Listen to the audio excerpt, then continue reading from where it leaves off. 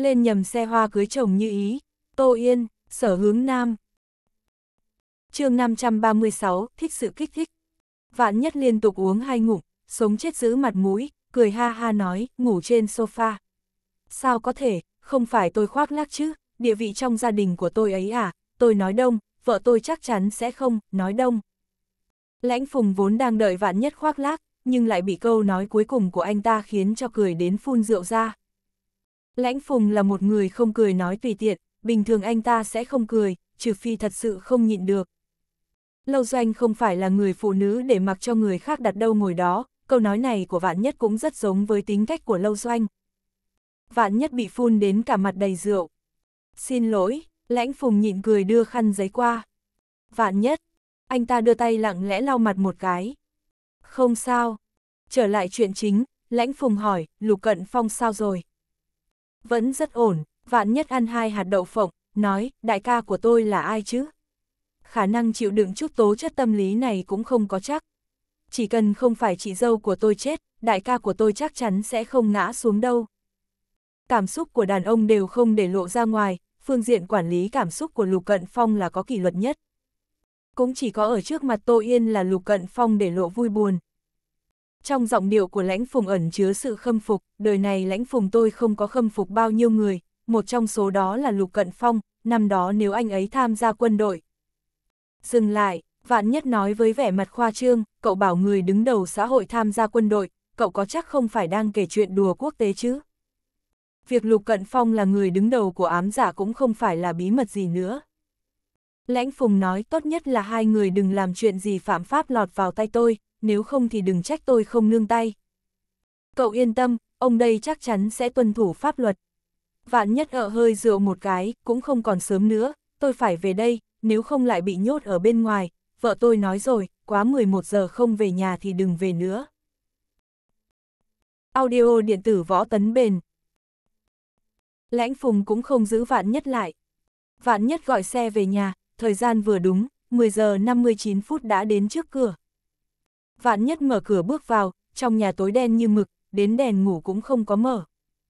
Lâu Doanh và Bạch Phi Minh đều ngủ cả rồi. Vạn nhất gión ra gión rén đi đến trước cửa phòng ngủ của Lâu Doanh, vặn một cái, cửa lại bị khóa trái rồi.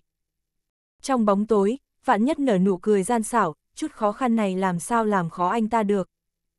Vạn nhất móc một chiếc chìa khóa dự bị ra, thành công lẻn vào phòng. Vừa bước vào, còn chưa đợi anh ta thích ứng với ánh sáng trong phòng, chăn gối đã ập đến. Quy tắc cũ, đừng làm phiền em. Sau khi lâu doanh ném gối và chăn về phía vạn nhất, tự mình quấn chăn lại, rồi ngủ mất. Hai, Vạn nhất vừa trải chăn ra, vừa than ngắn thở dài nói, trước đây khi chưa đăng ký kết hôn, còn có được vài bữa thịt để ăn, bây giờ thì chỉ có thể thấy mà thèm thôi. Lâu doanh nhắm mắt giả vờ ngủ. Vạn nhất thì thầm, thói đời bây giờ, nói gì mà nam nữ bình đẳng, trước kia em bắt nạt anh, anh cũng không thể lên tiếng, bây giờ anh chỉ muốn trèo lên giường, em lại muốn chặt đứt cái chân thứ ba của anh. Im miệng, lâu doanh lật người, còn lẩm bẩm thì anh dọn về nhà mình ở đi. Vạn nhất trải chăn xong, ngồi trên mặt đất, nằm sấp bên mép giường, vợ à, anh uống say rồi, em cho anh một cái ôm thật chặt đi, sau đó anh sẽ đi ngủ.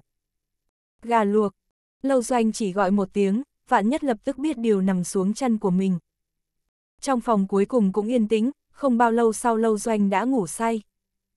Vạn nhất làm thế nào cũng không ngủ được, nhiệt độ trong phòng rất vừa vặn, sau khi vạn nhất chắc chắn lâu doanh đã ngủ rồi mới trèo lên giường, anh ta biết lâu doanh rất cảnh giác, nên cũng biết điều chỉ chiếm một bên giường, không chạm vào cô, chỉ chỉnh nhiệt độ điều hòa thấp xuống, chỉnh xuống 16 độ. Không đến 10 phút, Lâu Doanh đã tự động lăn từ bên kia giường đến bên cạnh Vạn Nhất, còn ôm chặt lấy anh ta. Vạn Nhất hài lòng mãn nguyệt mà cười. Con người trong lúc lạnh lẽo sẽ tự động đi tìm nơi ấm áp, Lâu Doanh ôm lấy Vạn Nhất, cảm thấy ấm áp, cũng tiếp tục ngủ say. Trời sắp sáng, Vạn Nhất điều chỉnh lại thành nhiệt độ ban đầu, Lâu Doanh buông anh ta ra, anh ta cũng trở về ổ chăn dưới đất của mình. Ngày hôm sau, Lâu Doanh tỉnh dậy, thấy Vạn Nhất vẫn đang ngủ dưới đất, cô cũng không gọi anh ta dậy, tính cách phóng khoáng, trực tiếp bước qua người Vạn Nhất, nhân lúc anh ta chưa dậy, cô cũng không cần kiêng kỵ, trực tiếp thay quần áo ở trong phòng. Vạn Nhất đã tỉnh dậy từ lâu rồi, anh ta nghe thấy tiếng sột soạt sau lưng, lặng lẽ vén mở mí mắt ra nhìn, nhìn một cái, anh ta lập tức cảm thấy không ổn. Lâu Doanh đang thay quần lót. Mới sáng sớm, vạn nhất đã bị cảnh tượng này khiến cho suýt nữa đã phun máu mũi. Có cần kích thích như vậy không? Thấy Lâu Doanh muốn quay đầu qua, vạn nhất mau chóng nhắm mắt lại tiếp tục giả vờ ngủ. Lâu Doanh nhớ ra dây buộc tóc của mình ném ở trên giường, cô thấy vạn nhất vẫn chưa dậy, lại bước lên giường lấy dây buộc tóc. Lâu Doanh một chân đứng trên đất, một chân đạp lên giường, cặp chân dài trắng nõn tròn trịa, đến đầu ngón chân cũng toát ra sức hút mê người. Đây đúng là một yêu tinh. Vạn nhất nhịn đến vô cùng khó chịu, có tim gấu nhưng không có gan gấu, trong lòng rơi đầy lệ. Anh ta đã tạo phải nghiệp gì thế nào, lấy phải một cô vợ chỉ có thể nhìn mà không thể ăn. Lâu doanh mặc quần ngắn áo ngắn, đi qua đi lại trong nhà, cặp chân dài đó thật là mê người. Vạn nhất không biết đã nuốt nước bọt bao nhiêu lần rồi. Làn da của lâu doanh trắng hơn không ít, lúc cô cúi người tìm đồ ở đầu giường, từ góc độ của vạn nhất nhìn qua lại là một màn cảnh đẹp. Vạn nhất cắn răng, trong lòng thầm đọc, sắc tức thị không, không tức thị sắc. Đột nhiên trong phòng không còn tiếng động gì nữa, vạn nhất cảm thấy bối rối, anh ta đâu có nghe thấy tiếng lâu doanh đi ra ngoài. Vạn nhất tò mò vén mở mí mắt, thì thấy lâu doanh đang ngồi xổm trước mặt anh ta. Nhìn đủ chưa? Lâu doanh đã phát hiện vạn nhất tỉnh dậy từ lâu rồi. Vạn nhất hơi lúng túng, nhưng trả lời rất thành thực, vợ nhà mình, có nhìn thế nào cũng không đủ, chân thật dài, da thật trắng. Em đến bệnh viện thăm chị em, bây giờ anh trở về nhà của mình ở, khi nào em có thời gian sẽ đến thị tẩm anh. Vạn nhất, đây hoàn toàn không phải là nước đi theo lẽ thường. Vợ à, hàng đã bán ra, không thể hoàn lại, em phải cho anh một lý do. Lâu doanh lại thật sự có lý do, em đột nhiên phát hiện câu nói thê không bằng thiếp, thiếp không bằng trộm rồi, bây giờ tối nào anh cũng ngủ bên cạnh em, em không còn hứng thú với anh nữa, em cảm thấy chúng ta nên giữ chút khoảng cách thích đáng, khoảng cách sẽ sinh ra sự tươi đẹp. Khoảng cách sẽ chỉ sinh ra người thứ ba, không sinh ra sự tươi đẹp. Vạn nhất giữ thái độ ngờ vực, không phải em muốn gạt anh về nhà họ vạn, sau đó nhân cơ hội mà ở sau lưng anh làm playgirl chứ. Lâu Doanh vẫn luôn ôm giấc mộng làm playgirl. Cô đây muốn làm playgirl mà còn phải giấu anh sao? Cô đây chỉ là thích sự kích thích, anh về trước đi, hôm nào tâm trạng em tốt sẽ trèo cửa sổ. Có một cô vợ có sở thích đặc biệt thế này, vạn nhất thật muốn khóc. Lâu Doanh nói rất nghiêm túc, vạn nhất muốn từ chối, một khi anh trở về rồi, sợ là đến cơ hội trải chăn nằm dưới đất cũng khó có được. Vợ à, đừng lo về việc em sẽ bỏ rơi anh, em lấy nhân phẩm của mình ra để đảm bảo, nhất định sẽ đến tìm anh. Vợ à, hình như anh nhớ em không có thứ gọi là nhân phẩm. Bầu không khí bỗng chốc đông cứng lại. Vạn nhất nằm lên trên, ôi, đầu anh đau quá, tối qua uống nhiều quá, lại ngủ không ngon, anh ngủ thêm một lúc đã.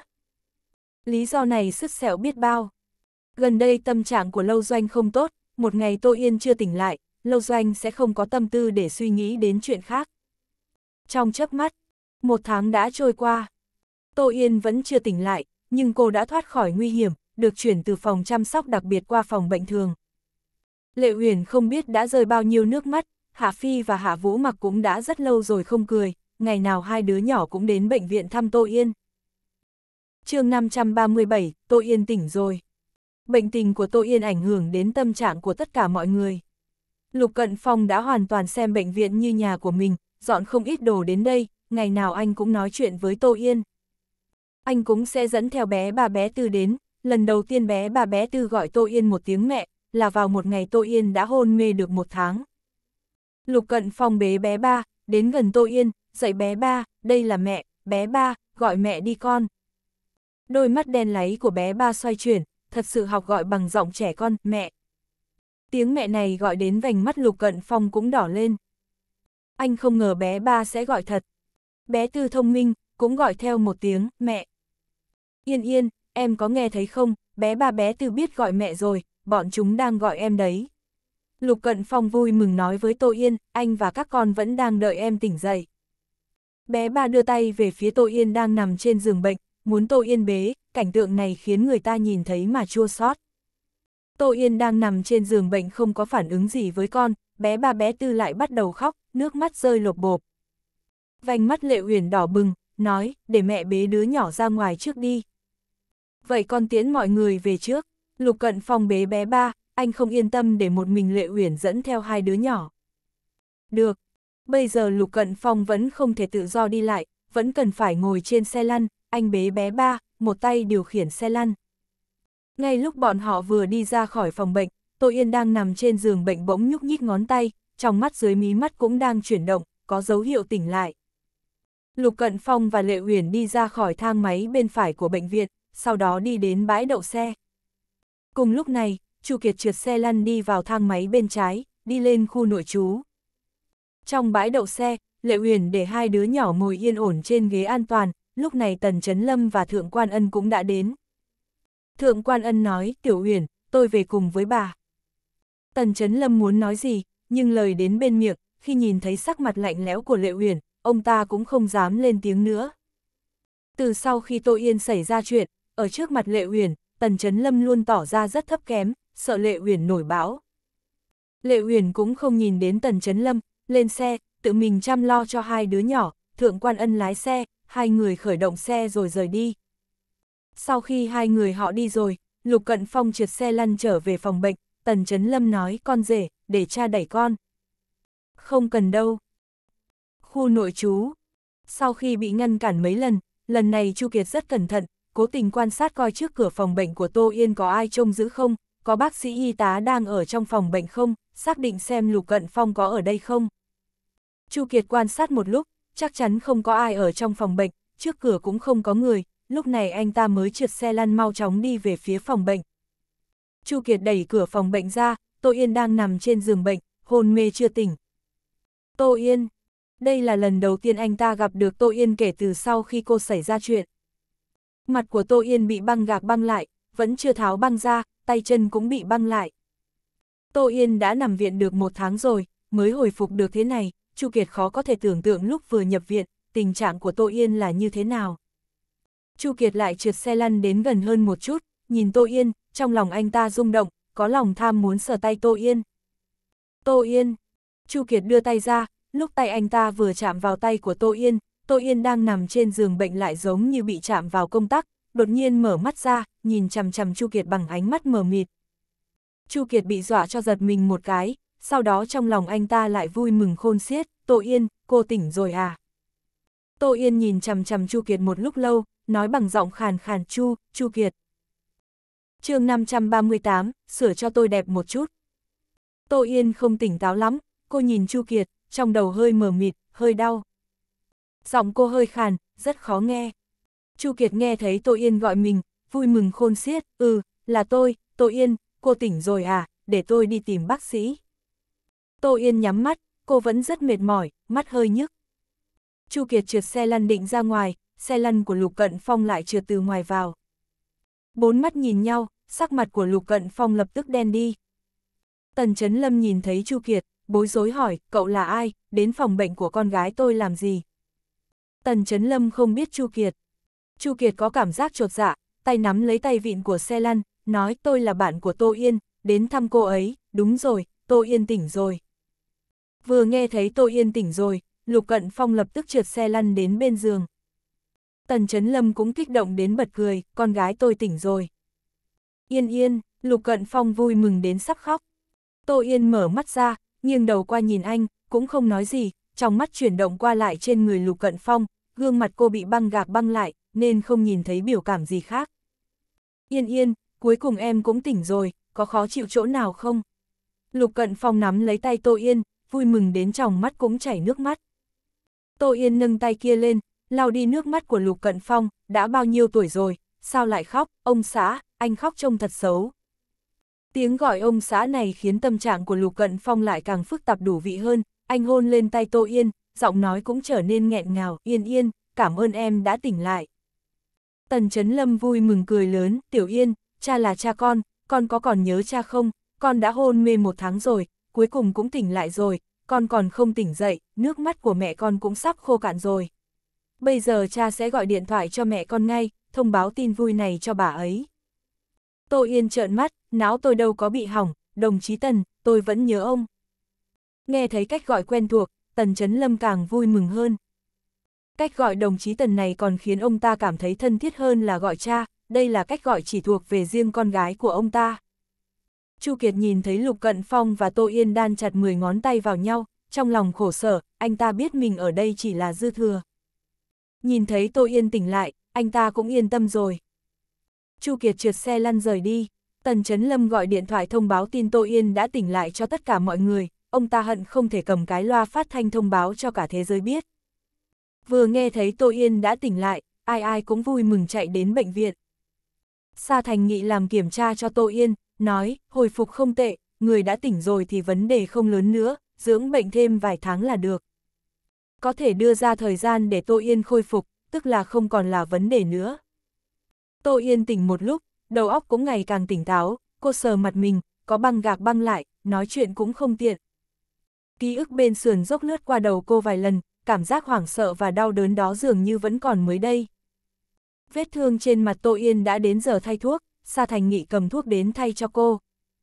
Tô Yên vội nói, ông xã, mau, đưa cho em cái gương. Cô muốn nhìn xem mặt mình bị thương đến như thế nào. Lục Cận Phong nhìn mặt của Tô Yên, thương đến khá, nặng. Phụ nữ yêu cái đẹp, dù chỉ là một vết sẹo nhỏ trên mặt cũng vô cùng ảnh hưởng đến vẻ đẹp, huống chi cô bị thương đến mức này. Lục Cận Phong nói một cách huyền chuyển, bà xã, không cần gấp, đắp thuốc trước, đợi sau này khỏi rồi hắn nhìn. Giọng điệu của Tô Yên rất chán nản, chết rồi chết rồi, anh mà cũng nói như vậy, vậy chắc chắn là em bị hủy dung rồi. Em có thể sống đến ngày hôm nay, hơn một nửa là dựa vào gương mặt này, nếu như bị hủy dung thật, vậy thì gai gâu rồi. Người có thể công khai nói mình sống dựa vào mặt, cũng chỉ có một mình Tô Yên. Lục Cận Phong an ủi, ở trong lòng anh, em lúc nào cũng là đẹp nhất. Được rồi, lời của đàn ông toàn là dối trá, nếu năm đó anh lên giường với một người phụ nữ xấu xí, anh sẽ nhìn chúng em sao? Không có gương mặt này, chắc chắn em không đã sống được đến tập thứ ba. Lục Cận Phong, Sa Thành Nghị đang thay thuốc. Sa Thành Nghị ho khẽ một tiếng, nhắc nhở sự tồn tại của mình với hai người đang ở đây. Tô Yên nhìn qua anh ta, đàn ông các người đều là động vật yêu bằng mắt, mau lên, đưa cái gương cho tôi, tôi muốn nhìn mặt của mình. Tô Yên kiên trì, Lục Cận Phong và Sa Thành Nhị cũng không có cách nào khác, chỉ đành tìm cái gương đến. Lục Cận Phong sợ một lát Tô Yên sẽ bị đả kích, nói, bà xã, một lát em đừng quá kích động, cũng đừng tự ti, dù cho em có trở nên thế nào, anh cũng vẫn yêu em, nếu em không tin, anh sẽ chọc mù mắt mình. Tô Yên bĩu môi, em có xấu đến mức khiến anh tự hủy hoại mắt mình sao? Lục Cận Phong, anh không phải là có ý này. Lục Cận Phong không nói nữa, cũng không dám nói nữa. Sa Thành Nghị bắt đầu tháo băng gạc, Tô Yên cầm gương, nhìn chằm chằm bản thân mình trong gương. Theo lớp băng gạc dần được tháo ra, trái tim của Lục Cận Phong cũng bị treo lên, trông anh còn căng thẳng hơn cả Tô Yên. Đợi đến khi băng gạc đã tháo ra hết rồi, Tô Yên nhìn bản thân mình trong gương, ngẩn ra suốt mấy phút đồng hồ. Bầu không khí cũng đông cứng trong giây phút này, Lục Cận Phong và Sa Thành Nghị để ý đến phản ứng của Tô Yên, đều không dám lên tiếng quấy giày.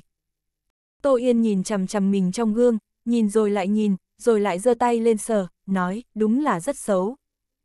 Trên mặt có vết sẹo rất to, còn có nhiều vết thương nhỏ, gương mặt này, đến cô cũng không nhìn nổi.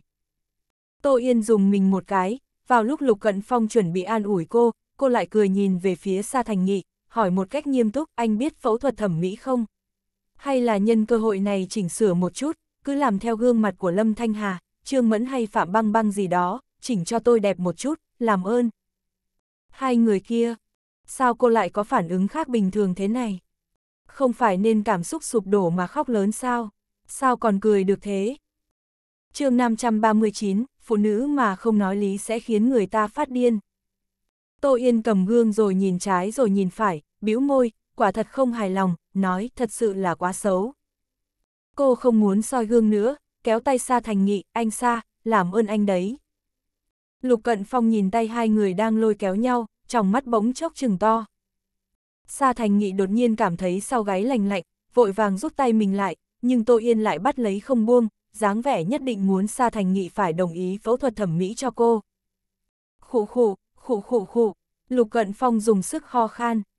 Nhiệt độ không khí đột nhiên xuống thấp, lời cảnh cáo của Lục Cận Phong vô cùng rõ ràng. Sa Thành Nghị sắp khóc rồi, sửa, sửa, cô muốn sửa thế nào, bây giờ tôi đi học ngay, sau đó sửa cho cô thành như thế. Sa Thành Nghị đột nhiên hiểu nỗi lòng của vạn nhất rồi, hai người này thật biết hành hạ người khác quá mà. Trước đó Lục Cận Phong gạt tiền của vạn nhất, bây giờ Tô Yên là đang muốn lấy mạng của anh ta mà. Hai mắt Tô Yên trống lên, gạt tay của Sa Thành Nghị ra, vẻ mặt ghét bỏ, anh không biết phẫu thuật thẩm mỹ à, tôi còn cần tưởng cái gì anh cũng biết chứ. Sa Thành Nghị cười khổ, chị dâu à, tôi là người, đâu phải là thần, tôi biết khám bệnh, nhưng phẫu thuật thẩm mỹ thật sự không phải là sở trường của tôi, nhưng tôi có thể cho cô dùng thuốc tốt một chút, để vết thương của cô lành tốt hơn, nhanh hơn. Tô Yên cao mày, thái độ rất kiên trì, tôi muốn phẫu thuật thẩm mỹ. Lục Cận Phong nói, Yên Yên, chúng ta dưỡng thương trước, chuyện phẫu thuật thẩm mỹ để sau rồi nói, đến lúc đó anh sẽ tìm bác sĩ thẩm mỹ có kỹ thuật tốt cho em, em muốn sửa thế nào, chúng ta sẽ sửa thành như thế. Trong mắt Tô Yên xoay về phía anh, giọng điệu thê lương, quả nhiên là anh chê bai em xấu xí. Lục Cận Phong Lục Cận Phong, anh không có chê bai. Tô Yên, không chê bai sao anh còn kêu em phẫu thuật thẩm mỹ. Lục Cận Phong, không phải là do em muốn phẫu thuật thẩm mỹ nên anh mới chiều theo em sao? Tô Yên, anh chiều theo em còn không phải là vì em xấu xí à? Lục Cận Phong, vậy thì em đừng phẫu thuật thẩm mỹ nữa. Nhưng bây giờ em trở thành xấu xí như vậy, anh nhìn nổi sao? Lục Cận Phong thuận miệng trả lời, vậy thì phẫu thuật đi. Anh vừa dứt lời, đột nhiên ý thức được mình đã rơi vào bẫy rồi. Tô Yên méo miệng, dáng vẻ sắc khóc, tuổi thân mà chỉ vào Lục Cận Phong, xem đi, quả nhiên là anh chê em xấu. Không cách nào nói tiếp được nữa. Lục Cận Phong rất muốn phát điên, sau khi Tô Yên tỉnh lại thì lại càng không nói lý hơn cả trước kia. Có phải đã cầm nhầm kịch bản rồi hay không? Hay là, não bị hỏng rồi? Lục Cận Phong âm thầm dùng dư quang liếc về phía Sa Thành nhị, âm thầm hỏi anh ta rốt cuộc là đã xảy ra chuyện gì. Sa Thành Nghị xoay tròn trong mắt, tỏ ý anh ta cũng không biết tại sao lại như vậy. Nhưng chắc chắn không phải là do não xảy ra vấn đề, có thể gạt được Lục Cận Phong vào chồng, não có thể hỏng được sao? Có lẽ là do một khi phụ nữ mà không nói lý, thì thật sự sẽ khiến 90% đàn ông phát điên, còn 10% thì đã điên rồi. Lục Cận Phong lấy tay che trước ngực, bắt đầu giả vờ tỏ vẻ yếu ớt, ho khan, khụ khụ, đột nhiên tôi tức ngực, hơi không hít thở được.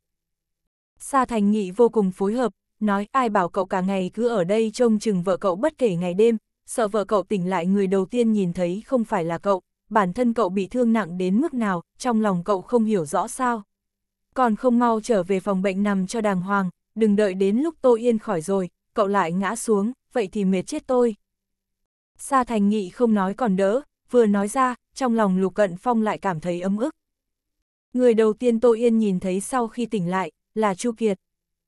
Chuyện này khiến trong lòng anh vô cùng không vui. Chị, Tiểu Yên, chị dâu.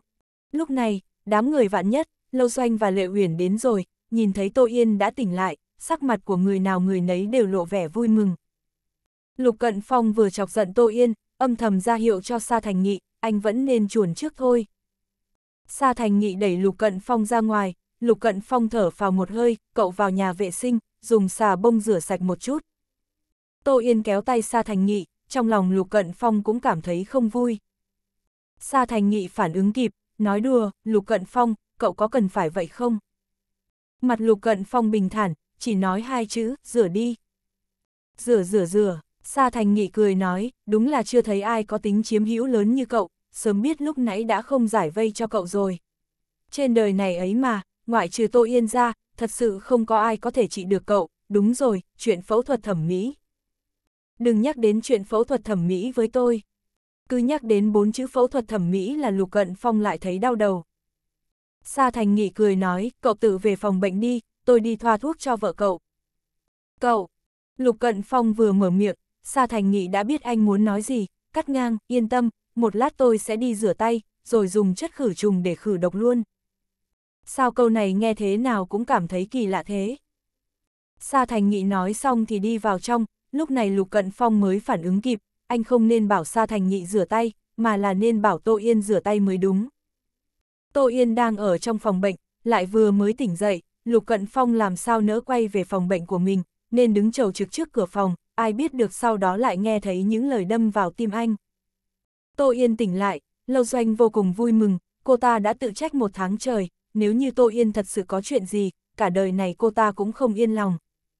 Lâu Doanh kích động ôm lấy Tô Yên, vui mừng đến sắp bay lên chị, em yêu chị chết mất, cuối cùng chị cũng tỉnh lại rồi, thật tốt quá, yêu chị yêu chị. Nói xong, Lâu Doanh lại hôn lên mặt Tô Yên mấy cái. Tô Yên cười nói, chị cũng yêu em.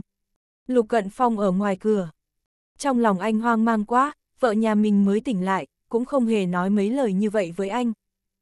Đừng nói là Lục Cận Phong ghen tuông, vạn nhất nghe thấy cũng rất ghen tị. Vợ anh ta còn chưa từng nói qua yêu anh ta, vợ anh ta nhìn thấy Tô Yên còn vui hơn nhìn thấy anh ta, anh ta cảm thấy mình giống như người thứ ba vậy. Lâu Doanh nhìn chằm chằm vết thương trên mặt Tô Yên, nói chị, chị dưỡng thương thêm một thời gian, em sẽ tìm bác sĩ thẩm mỹ tốt nhất để phẫu thuật cho chị, nhất định sẽ khôi phục lại vẻ đẹp nghiêng nước nghiêng thành của chị. Vậy chị phải sửa theo mặt của Lâm Thanh Hà, Phạm Băng Băng bọn họ. Không thành vấn đề, chắc chắn sẽ còn đẹp hơn cả bọn họ, gốc của chị đẹp như vậy, cho dù không sửa thì cũng cách xa người ta cả con phố. Hai người ăn dơ với nhau, Tô Yên cười rộ lên, tự tin nói, đương nhiên rồi, chị đâu phải là người dựa vào mặt để đi được đến ngày hôm nay. Sa thành nghỉ, Lục Cận Phong ở ngoài cửa. Lời nói của phụ nữ toàn là dối trá. Vừa nãy ai mới nói đi được đến ngày hôm nay, hơn một nửa là dựa vào mặt. Vừa nãy ai mới nói mình xấu xí, là lối om sòm muốn phẫu thuật thẩm mỹ. Lục Cận Phong phản ứng ra, lúc nãy là anh bị Tô Yên chọc rồi. Nhìn Tô Yên đang nói cười với mọi người trong phòng, sự lo lắng dưới đáy lòng Lục Cận Phong đã hoàn toàn biến mất. Yên yên của anh lại trở về rồi. Sau khi Tô Yên tỉnh lại, hai vợ chồng Lý Mộc Sinh cũng đến, Hạ Phi và Hạ Vũ Mặc cũng cùng ông cụ Lục đến bệnh viện. Hạ Vũ Mặc ôm lấy Tô Yên mà khóc mẹ, cuối cùng mẹ cũng tỉnh lại rồi, con còn tưởng mẹ sẽ không tỉnh dậy nữa. Hạ Phi cũng khóc, nhưng là vì vui mừng. Một tay Tô Yên ôm con trai, vẫn có thể sống sót, vẫn có thể nhìn thấy con của mình, trong lòng cô không thể nào cảm kích hơn. Các cục cưng, để các con phải lo lắng rồi. Trong mắt Tô Yên cũng có nước, đưa tay ra ôm lấy hai đứa nhỏ. Lưu Tuyết Lam vui vẻ cười nói, tỉnh lại là tốt rồi, đại nạn không chết sau này ắt sẽ có phúc. Lý Mộc Sinh cũng rất vui vẻ và yên tâm, Tiểu Yên, dưỡng thương cho tốt. Cảm ơn cha nuôi mẹ nuôi, thời gian qua đã khiến cha mẹ lo lắng rồi. Tô Yên nhìn một lượt những người thân trong phòng bệnh, trên mặt nở nụ cười, mọi người không cần lo lắng nữa, Tô Yên tôi mạng lớn, Diêm Vương không nhận, tôi đã sống lại rồi. Ánh mắt cuối cùng của Tô Yên rơi lên người Lục Cận Phong ở ngoài cửa, hai vợ chồng bốn mắt nhìn nhau, hàng ngàn vạn lời nói, tất cả tình cảm dịu dàng đều chất chứa trong mắt, không cần nói cũng hiểu, tâm linh tương thông. chương 540, người tàn tật có thể an phận một chút không? Tô Yên tỉnh lại, có người vui mừng, cũng có người hụt hẫng. Tô Vân sau khi biết Tô Yên đã tỉnh lại, trong lòng có bao nhiêu là buồn bực. Đúng thật là mạng lớn, như vậy mà cũng không chết, cô ta là mèo hóa tinh sao, có chín đuôi chín mạng. Lời này con nói trong nhà là được rồi, ở bên ngoài cẩn thận cái miệng của con. Chu Hoàng Long từ bên ngoài đi vào, đúng lúc nghe thấy Tô Vân đang oán trách. Cha, cha về rồi, có mệt không? Tô Vân rất biết cách làm Chu Hoàng Long vui lòng, chủ động đi tới cầm cặp, cầm dép lê cho ông ta, con chỉ là thuận miệng nói thôi, cha, cha yên tâm, con sẽ không gây phiền phức cho cha. Dạo gần đây quả thật Tô Vân đã an phận hơn rất nhiều, cũng không cùng sở hướng nam gây ra chuyện gì, còn học cách xã giao, kết giao với những thiên kim tiểu thư, quý bà trong giới đã giúp ích rất nhiều cho kinh doanh của Chu Hoàng Long. Chu Hoàng Long cũng càng ngày càng thích cô con gái này. Nếu như trước đó không phải vì tôi Yên mắt mù, mới gả cho sở hướng nam, bây giờ có một đứa con ghẻ, thì có một đứa con gái có tài có sắc như nó, ông ta sẽ vui mừng đến nở hoa.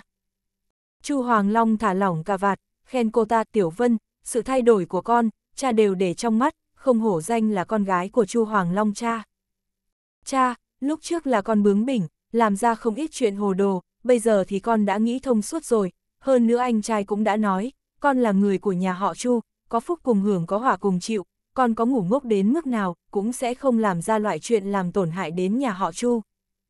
Tô Vân nói rất hay, trong lòng Chu Hoàng Long càng thích hơn. Lúc này, bảo mẫu dắt con gái của Tô Vân về. Cô hai, ông Chu, tôi dẫn cô nhỏ lên phòng nghỉ ngơi trước. Con gái của Tô Vân lớn lên rất giống với sở hướng nam, Chu Hoàng Long càng nhìn càng thấy phiền lòng, vẫy vẫy tay nói, dẫn lên tầng đi.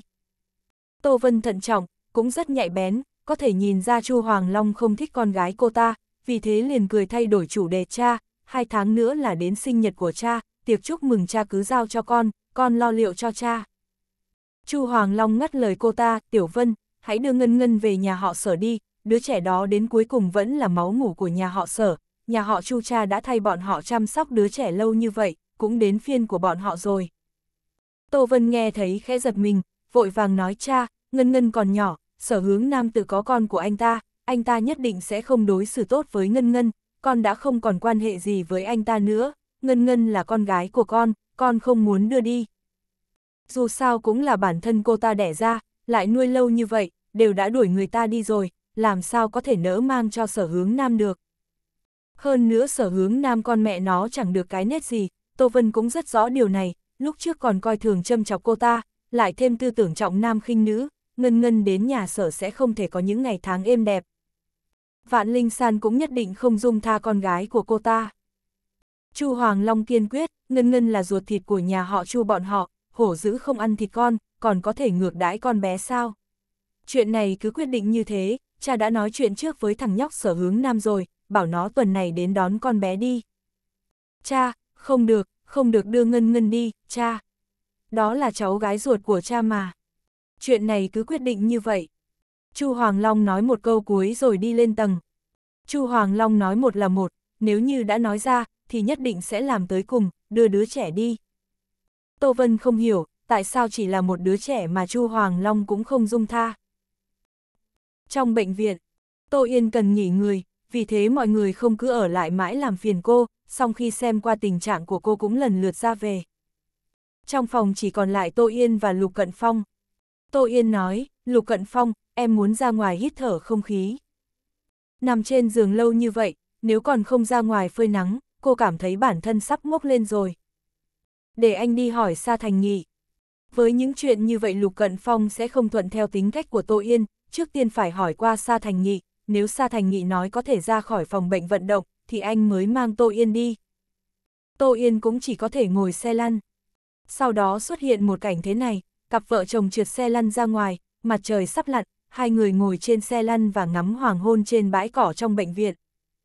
Gió thổi nhẹ nhẹ, lá cây trên đỉnh đầu phát ra tiếng kêu xào xạc, dưới chân là cỏ xanh mơn mởn, phòng tầm mắt ra xa là hoàng hôn vàng rực.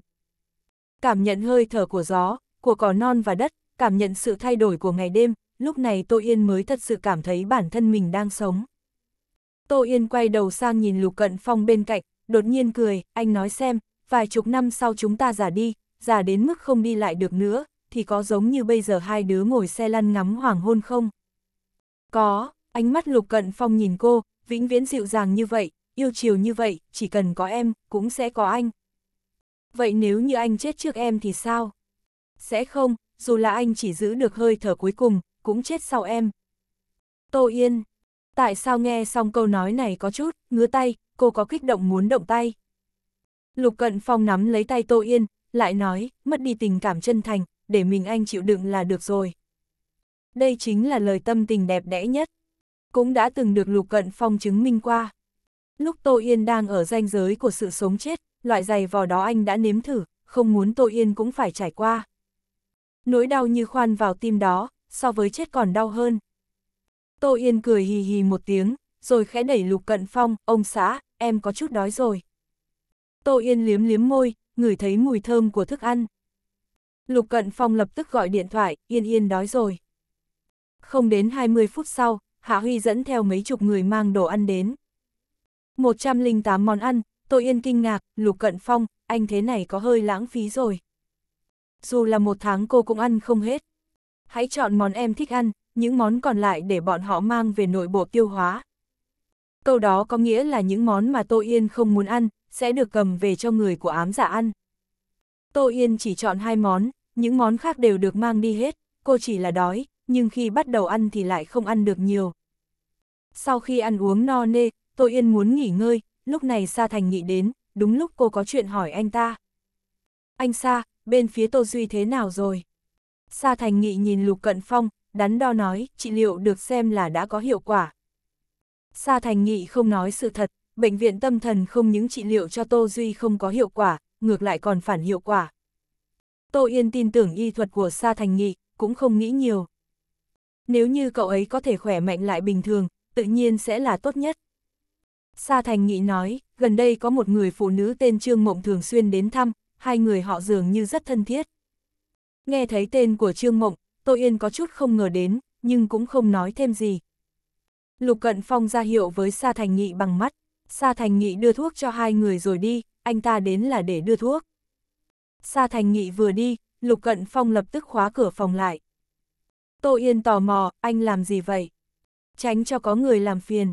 Lục Cận Phong trượt xe lăn đi tới, nằm lên giường, cuối cùng cũng yên tĩnh rồi, bà xã, ngủ thôi. Lục Cận Phong vươn cánh tay đặt lên gối, dùng mắt ra hiệu cho Tô Yên nằm lên cánh tay anh. Tô Yên, chúng ta đều là người tàn tật, anh có thể an phận một chút không? chương 541, lại làm con rùa rụt cổ.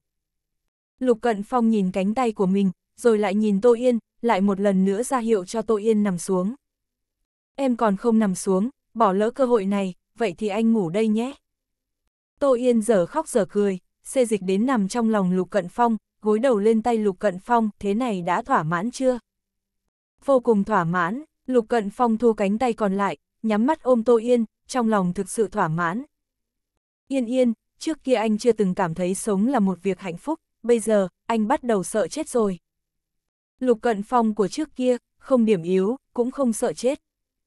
Anh của hiện toàn, trên người có điểm yếu, anh không dám chết nữa rồi. Tô Yên mở mắt nhìn trần nhà, em cũng sợ, em sợ sẽ không được gặp lại anh, em không biết có còn kiếp sau hay không, cũng không biết kiếp này có phải là lời hứa hẹn của kiếp trước với kiếp trước sau hay không, không biết kiếp sau sau nữa có gặp được anh hay không, vì thế em rất trân trọng hiện tại, không dám chủ quan. Trong lúc nói, Tô Yên đã cảm thấy chua xót ở cánh mũi, cô xoay người vào Lục Cận Phong, đầu để trên cánh tay anh, hít thật sâu hơi thở thuộc về anh. Lục Cận Phong, đời này anh là của em, kiếp sau rồi sau sau nữa cũng chỉ có thể là của em, em muốn anh sống, không có sự cho phép của em, anh không được phép chết trước em. Tình cảm sâu đậm, Tô Yên cuối cùng cũng rơi nước mắt. Được, đều nghe theo em hết. Lục Cận Phong cười cười, hôn lên giọt nước mắt trên mặt cô, vốn đã xấu gái, còn khóc nữa thì sẽ càng xấu hơn. Tô Yên tự hào nói, cho dù em có dỗ toàn mặt, sẹo toàn mặt, em cũng là tiểu tiên nữ mà anh yêu nhất. Điều đó là chắc chắn rồi. Lục Cận Phong đau lòng sờ lên vết thương trên mặt Tô Yên, dùng âm giọng nói, bà xã. Anh chỉ muốn gọi cô một tiếng như vậy mà thôi. Lúc Tô Yên hôn mê, anh đã gọi qua không biết bao nhiêu lần, nhưng Tô Yên không có đáp lại. Em đây. Lần này, Tô Yên đáp lại rồi, cô hôn lên mũi Lục Cận Phong, lúc em hôn mê, cảm thấy bản thân đã mơ một giấc mơ rất dài, em mơ thấy anh cứ luôn gọi em, vì thế em tỉnh dậy rồi. Đầu mũi hai người chạm vào nhau, trong mắt tràn ngập là nước mắt. Lục Cận Phong xúc động trong lòng, hôn lên môi Tô Yên. Ngày đêm luân chuyển, khi mặt trời một lần nữa mọc lên, trong phòng bệnh tràn ngập ánh nắng, vô số ánh sáng sắc màu nhảy nhót trong không trung.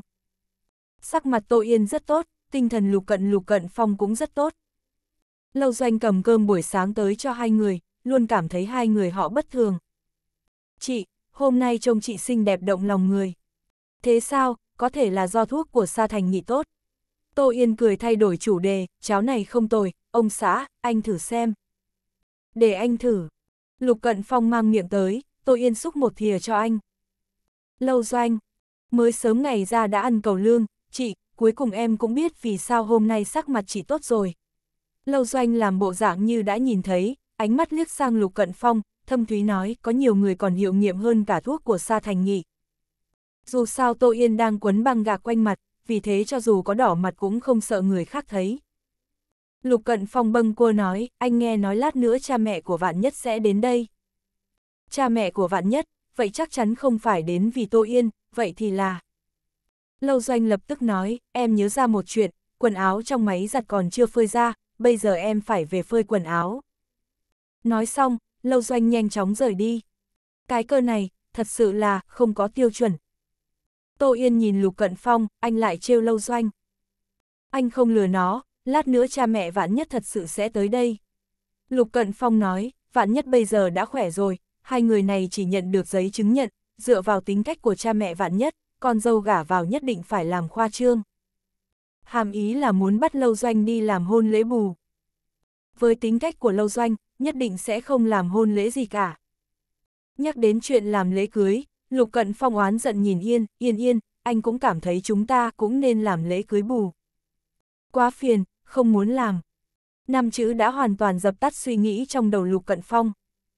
Vừa dứt lời, Tô Yên chợt kinh ngạc khi ngước mắt lên nhìn người quen đứng ngoài cửa. chương 542, An Hinh mang thai rồi. Người đến chính là Từ Như Phúc. Từ Như Phúc xách theo một rổ trái cây với hoa tươi, đứng trước cửa, lịch sự gõ lên trên cửa. Anh Lục, cô Lục. Sự xuất hiện của Từ Như Phúc khiến Tô Yên và Lục Cận Phong không ngờ tới. Trong lòng hai người đều biết Từ Như Phúc đến là vì cái gì, không ra tay đánh người tươi cười, Từ Như Phúc đã mang theo quả tới bệnh viện, hoàn toàn là tư thái của một người đi thăm bệnh, vợ chồng bọn họ không thể nào cứ mãi đuổi người ta. Ánh mắt Lục Cận Phong trở nên âm trầm, anh Từ. Từ Như Phúc đi vào, để hoa quả xuống, tôi nghe nói anh Lục và cô Lục xảy ra chuyện phải nhập viện, nên đã đặc biệt đến thăm, hai người không bị gì nghiêm trọng chứ. Từ Như Phúc đã thay đổi bộ dạng hùng hổ dọa người ban đầu, hiện tại vô cùng lương thiện. Tô Yên nhìn Lục Cận Phong, đáp, vẫn tốt, cảm ơn sự quan tâm của anh Từ.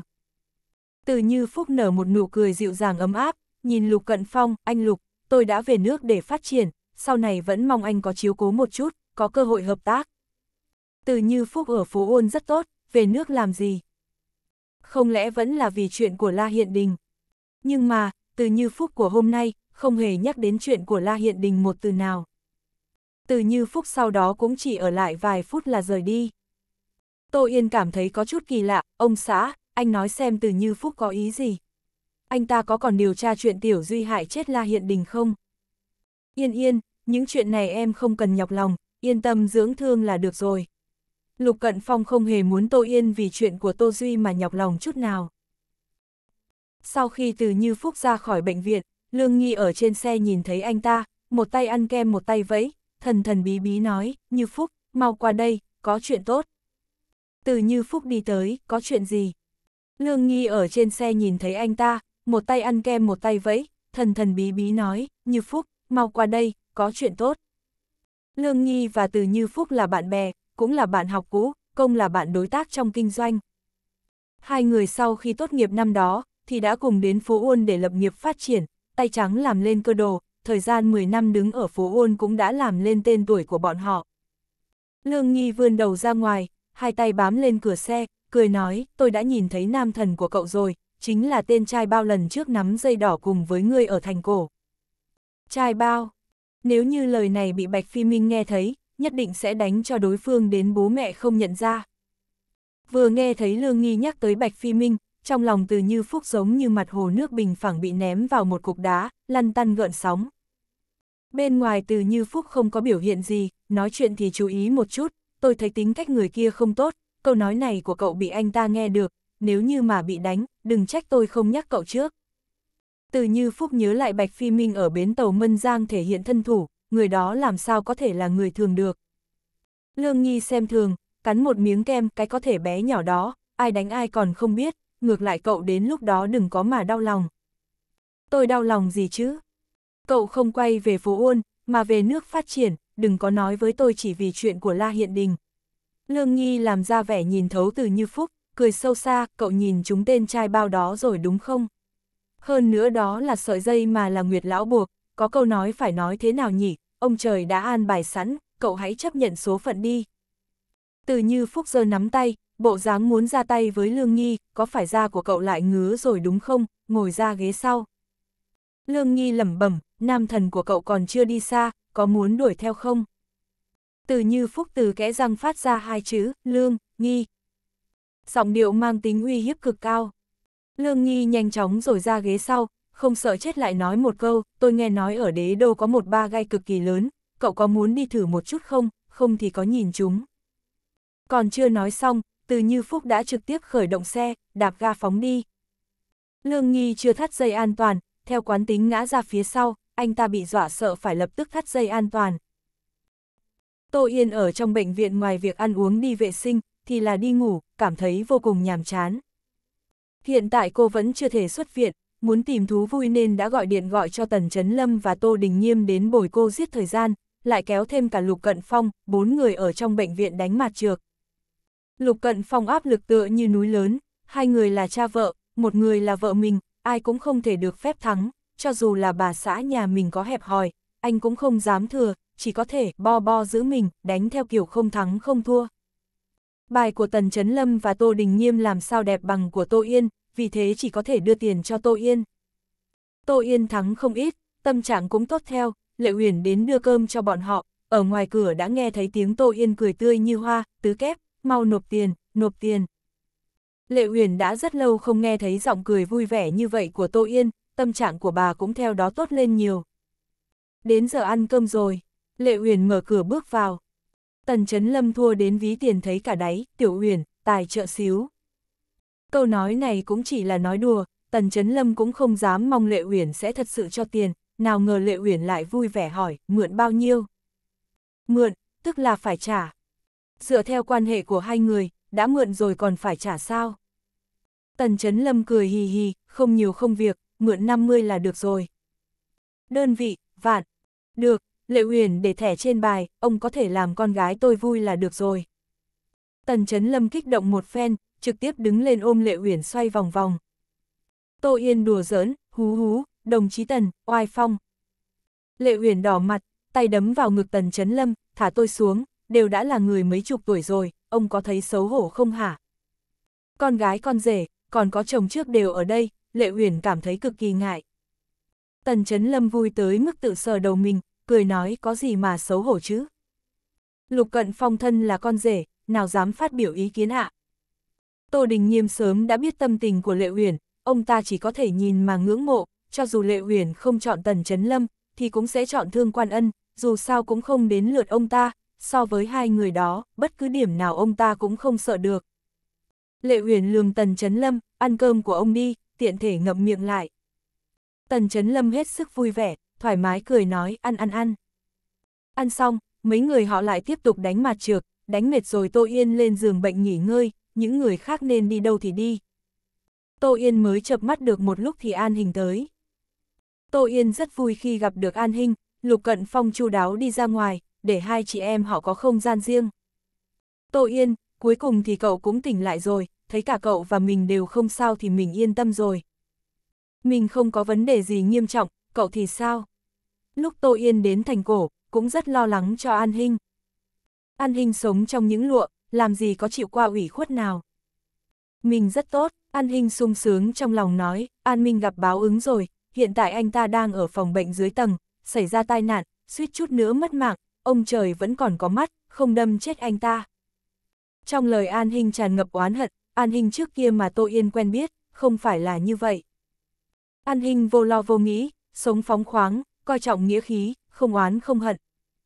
Hình hình, Tô Yên kéo tay An Hinh, cô không biết phải an ủi An Hinh thế nào. Mình thật sự không sao, khổ, khổ khổ. An Hinh còn chưa nói xong, trong bụng như sóng biển đảo lộn. chương 543, giải quyết nghiệt trùng. Phản ứng của An Hinh khiến cho Tô Yên có dự cảm không lành. An Hinh vô cùng khó chịu trong lòng, nôn mất nửa ngày, Tô A Yên rót cho cô ấy một cốc nước, Hinh Hinh, không phải cậu. An Hinh lắc đầu, không, không phải, mình chỉ là ăn phải đồ linh tinh mặc thôi, Tô Yên, mình không sao. Nếu như chỉ đơn giản là ăn linh tinh bị đau bụng, thì tại sao An Hinh lại có phản ứng mãnh liệt như vậy? Hinh Hinh, Tô Yên còn chưa nói xong thì Lý Văn đột nhiên đi vào. Chị, em đến thăm chị. Lý Văn đẩy cửa vào, cầm theo không ít đồ dinh dưỡng, trước đó anh ta không biết An Hinh sẽ ở đây, khi thấy An Hinh, anh ta rất vui, Hinh Hinh, em cũng ở đây. Dạo gần đây An Hinh vẫn luôn trốn anh ta, Lý Văn đang vô cùng buồn phiền, lúc trước không phải vẫn tốt sao, đột nhiên lại trốn anh ta như trốn thú dữ, cũng không liên lạc được. An Hinh không được quá tự nhiên, cúi mắt gật đầu, ừ, tôi đến thăm Tô Yên. Có Lý Văn ở đây, Tô Yên cũng không tiếp tục hỏi. Thật trùng hợp, anh cũng đến thăm chị. Lý Văn thấy An Hinh, giống như là thấy ánh mặt trời vậy, trên mặt anh ta không giấu nổi ý cười, Hinh Hinh, sắc mặt em không tốt, có phải là người không khỏe không? Không, không phải, tôi rất khỏe. An Hinh căng thẳng trong lòng, có cảm giác sợ hãi sẽ bị người khác nhìn thấu. Tô Yên thấy An Hinh gặp khó khăn, nên đã thay cô ấy giải vây, thay đổi chủ đề, Lý Văn, tôi đã tỉnh dậy lâu như vậy rồi, sao giờ cậu mới tới thăm tôi? Tô Yên cố ý hỏi tội. Lý Văn cười đáp chị, lúc trước em có chút chuyện chậm trễ, nghe mẹ em nói chị tỉnh lại rồi, không có gì nghiêm trọng, không phải vì thế em mới không vội sao, chị, đã đỡ hơn chưa? Tô Yên bình thản trả lời, ừ, tốt hơn nhiều rồi. An Hinh lại cảm thấy không thoải mái, tiếp tục ở lại sẽ bị lộ mất, sau đó cũng nói, Tô Yên, cậu nghỉ ngơi nhiều chút, mình về trước đây, ngày mai lại đến thăm cậu. Tô Yên biết An Hinh có chuyện trong lòng, có chướng ngại vật lý văn ở đây, cũng không cách nào nói được chuyện khác, chỉ có thể gật đầu. Ừ, vậy thì cậu đi đường nhớ chú ý an toàn, có chuyện gì thì gọi điện cho tớ. Ừ, An Hinh đi trước. Lý Văn cũng muốn đi, Tô Yên cố tình gọi anh ta lại, còn chưa ngồi ấm mông đã muốn đi rồi. Lý Văn nhìn bóng ảnh đang rời ra của An Hinh, trong lòng gấp muốn chết nhưng vẫn phải cười cười nói chị, ngày khác em lại đến thăm chị. Lý Văn, Tô Yên không thể giữ Lý Văn lại, Lý Văn đã đuổi theo An Hinh rồi. An Hinh đi rất nhanh, bây giờ đang đứng trước cửa đợi thang máy. Hinh Hinh, anh tiện em. Lý Văn mặt dày đứng cạnh cô ấy, đúng rồi, mẹ anh ngày nào cũng nhắc đến em, em đã rất lâu không qua nhà rồi, tối nay có muốn đến nhà anh ăn cơm không? Tôi không đi được rồi, còn có chuyện. Thang máy mở ra, An Hinh đi vào. Lúc trước An Hinh chán ghét Lý Văn là bởi vì có ấn tượng không tốt ban đầu về Lý Văn, thêm cả danh tiếng bên ngoài của Lý Văn, rồi còn thường làm ra những chuyện mất mặt của những tên đàn ông xến sẩm, vì thế trước giờ An Hinh đều không thích Lý Văn. Trải qua nhiều ngày tiếp xúc như vậy, quan hệ của hai người cũng đã tốt lên rất nhiều, tuy rằng chưa thể nói là người yêu, nhưng ít nhất là đã là bạn bè. Nhưng An Hinh của bây giờ, không thể nào quay về với thái độ trước đó nữa rồi, thậm chí còn lạnh lùng hơn cả thái độ của hồi trước. Lý Văn cực kỳ buồn phiền, anh ta cũng không nói chuyện chỉ là âm thầm đi bên cạnh An Hinh. Hai người ra khỏi thang máy, Lý Văn vẫn không rời một bước rời khỏi trái phải của An Hinh. Lý Văn càng đến gần, càng đối xử tốt với cô ấy, An Hinh sẽ càng bất an trong lòng. Lý Văn, anh đừng có đi theo tôi nữa, tôi tự mình về. Dù sao thì anh cũng không có chuyện gì. Lý Văn cười hì hì đáp, Hinh Hinh, có phải em gặp phải chuyện gì rồi không?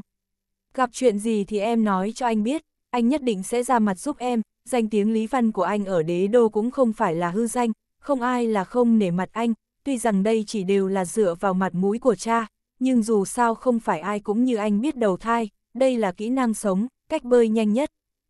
Tại sao phải bơi nhanh? Không phải anh đã tranh đấu cùng với hàng tỷ vạn anh em khác sao? Ai có thể chạy đến phía trước, thì mới có ngày hôm nay. Qua vài giây An Hinh mới phản ứng lại, anh đúng thật là biết cách mở lời. Hinh Hinh, em lại cười rồi. Lý Văn thấy An Hinh cười, anh ta cũng cười theo. An Hinh nhận thức được tâm trạng của mình sẽ bị ảnh hưởng bởi Lý Văn, quay mặt sang hướng khác nói, tôi không nói với anh nữa, tôi về đây. Bây giờ em sống ở đâu? Anh nghe nói em không ở nhà họ An, có phải đã cãi nhau cùng cha rồi không? Bỏ nhà ra đi sao? Loại chuyện như bỏ nhà ra đi anh có nhiều kinh nghiệm nhất. Hai người ra khỏi bệnh viện, không chú ý đến ban nãy nói cười đã bị người khác trông thấy. An Minh chống gậy, cùng với một y tá xuống lầu đi dạo, vô tình gặp hai người An Hinh và Lý Văn. Anh ta ở viện lâu như vậy, An Hinh chưa lần nào đến thăm anh ta. Thấy hai người vui vẻ như vậy, sắc mặt An Minh chợt trở nên khó khăn, phẫn nộ đến mức bóp chặt gậy, hai má hóp chặt lại, ánh mắt xẹt qua tia sát ý, anh ta gọi một cuộc điện thoại, tìm anh để làm một chuyện. An Hinh vẫn luôn ở khách sạn, để phòng bị người nhà tìm được, cô ấy không ngừng đổi khách sạn. Lý Văn đưa cô về, lo cô sẽ đói nên đã dùng mọi thủ đoạn để cô xuống tầng đi ăn nhà hàng cùng anh ta. An Hinh quả thực đói, đúng lúc cũng là giờ ăn tối, hai người gọi vài món ăn ở nhà hàng. Hiện tại An Hinh rất mẫn cảm với những đồ ăn có mùi lạ, vừa ngửi là buồn nôn, điều này vô tình nhắc nhở cô, trong bụng cô đang tồn tại một nghiệt chủng không nên tồn tại. Trong lòng cô lại bắt đầu oán hận, tâm trạng cũng vì thế mà xấu theo, tính tình bộc phát, ăn được vài miếng là đã cảm thấy cơ thể không thoải mái, quay trở về khách sạn. Lý Văn chỉ tiến cô tới cửa thang máy, đây là đang quan tâm đến danh tiếng của An Hinh, Lý Văn của lúc trước, làm gì quan tâm đến những cái này, danh tiếng của con gái thì liên quan gì tới anh ta chứ? Đợi đến khi An Hinh lên rằng, Lý Văn nghĩ tới An Hinh không có khẩu vị, nhất định là do thức ăn không hợp khẩu vị, vì thế anh ta gọi điện cho Lưu Tuyết Lam, mẹ, nấu giúp con vài món thanh đạm, con sẽ về bây giờ, khẩu vị Hinh Hinh không tốt, nấu cho cô ấy ăn. Trong phòng khách sạn, An Hinh lại không thoải mái, ở trong phòng vệ sinh nôn cả buổi, cô càng ngày càng sợ hãi, trốn ở trong khóc rất lâu. Cô cảm thấy bầu trời của bản thân đã sụp đổ. Cô không thể giữ lại đứa trẻ này, tuyệt đối không thể. An Hinh lấy thuốc của bệnh viện từ trong túi ra, bảo nhân viên khách sạn mang đi nấu thuốc. Đây là thuốc phá thai. An Hinh có chút tính tình của tiểu thư, cũng có lúc bướng bỉnh, nhưng khi thật sự thuốc phá thai được mang tới, cô nhìn thuốc rồi lại khóc, cô không dám xuống tay. Cô là một người đến cả kiến còn không dám dẫn chết, loại chuyện giết người như vậy, cô không dám. Cô hoàng mang lo sợ, trong đầu rối như tơ vò. Đúng lúc An Hinh đang run rẩy thuốc thì Tô Yên gọi điện tới.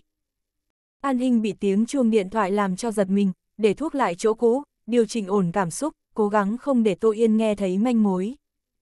Tô Yên, sao thế? Hinh Hinh, cậu không sao chứ? Trước đó có Lý Văn, mình không tiện hỏi, bây giờ cậu ở đâu? Cậu đừng có làm chuyện gì ngốc nghếch. Từ lúc Lý Văn và An Hinh rời đi, Tô Yên cảm thấy trong lòng bất an. An Hinh chưa từng gặp chuyện gì lớn nhẹ vậy, nhất định bây giờ cô ấy đang rất sợ. Mình không sao, mình, An Hinh đang nói, nước mắt liền chảy ra, cô cắn chặt môi, không nói ra lời. chương 544 anh chính là một tên xúc sinh chương 501, xảy ra chuyện rồi. Tô Yên nghe thấy thì tim siết lại, hình hình, bây giờ cậu đang ở đâu, mình cho người qua ở cùng cậu. Tô Yên, thật sự không cần đâu, mình đang ở khách sạn Hoa Viên, để mình ở một mình cho bình tĩnh. An Hinh lau đi nước mắt trên mặt, trong mắt lóe lên sự kiên cường. Khi con người bị té ngã, hoặc là bị đánh bại, hoặc là càng ngã càng dũng cảm.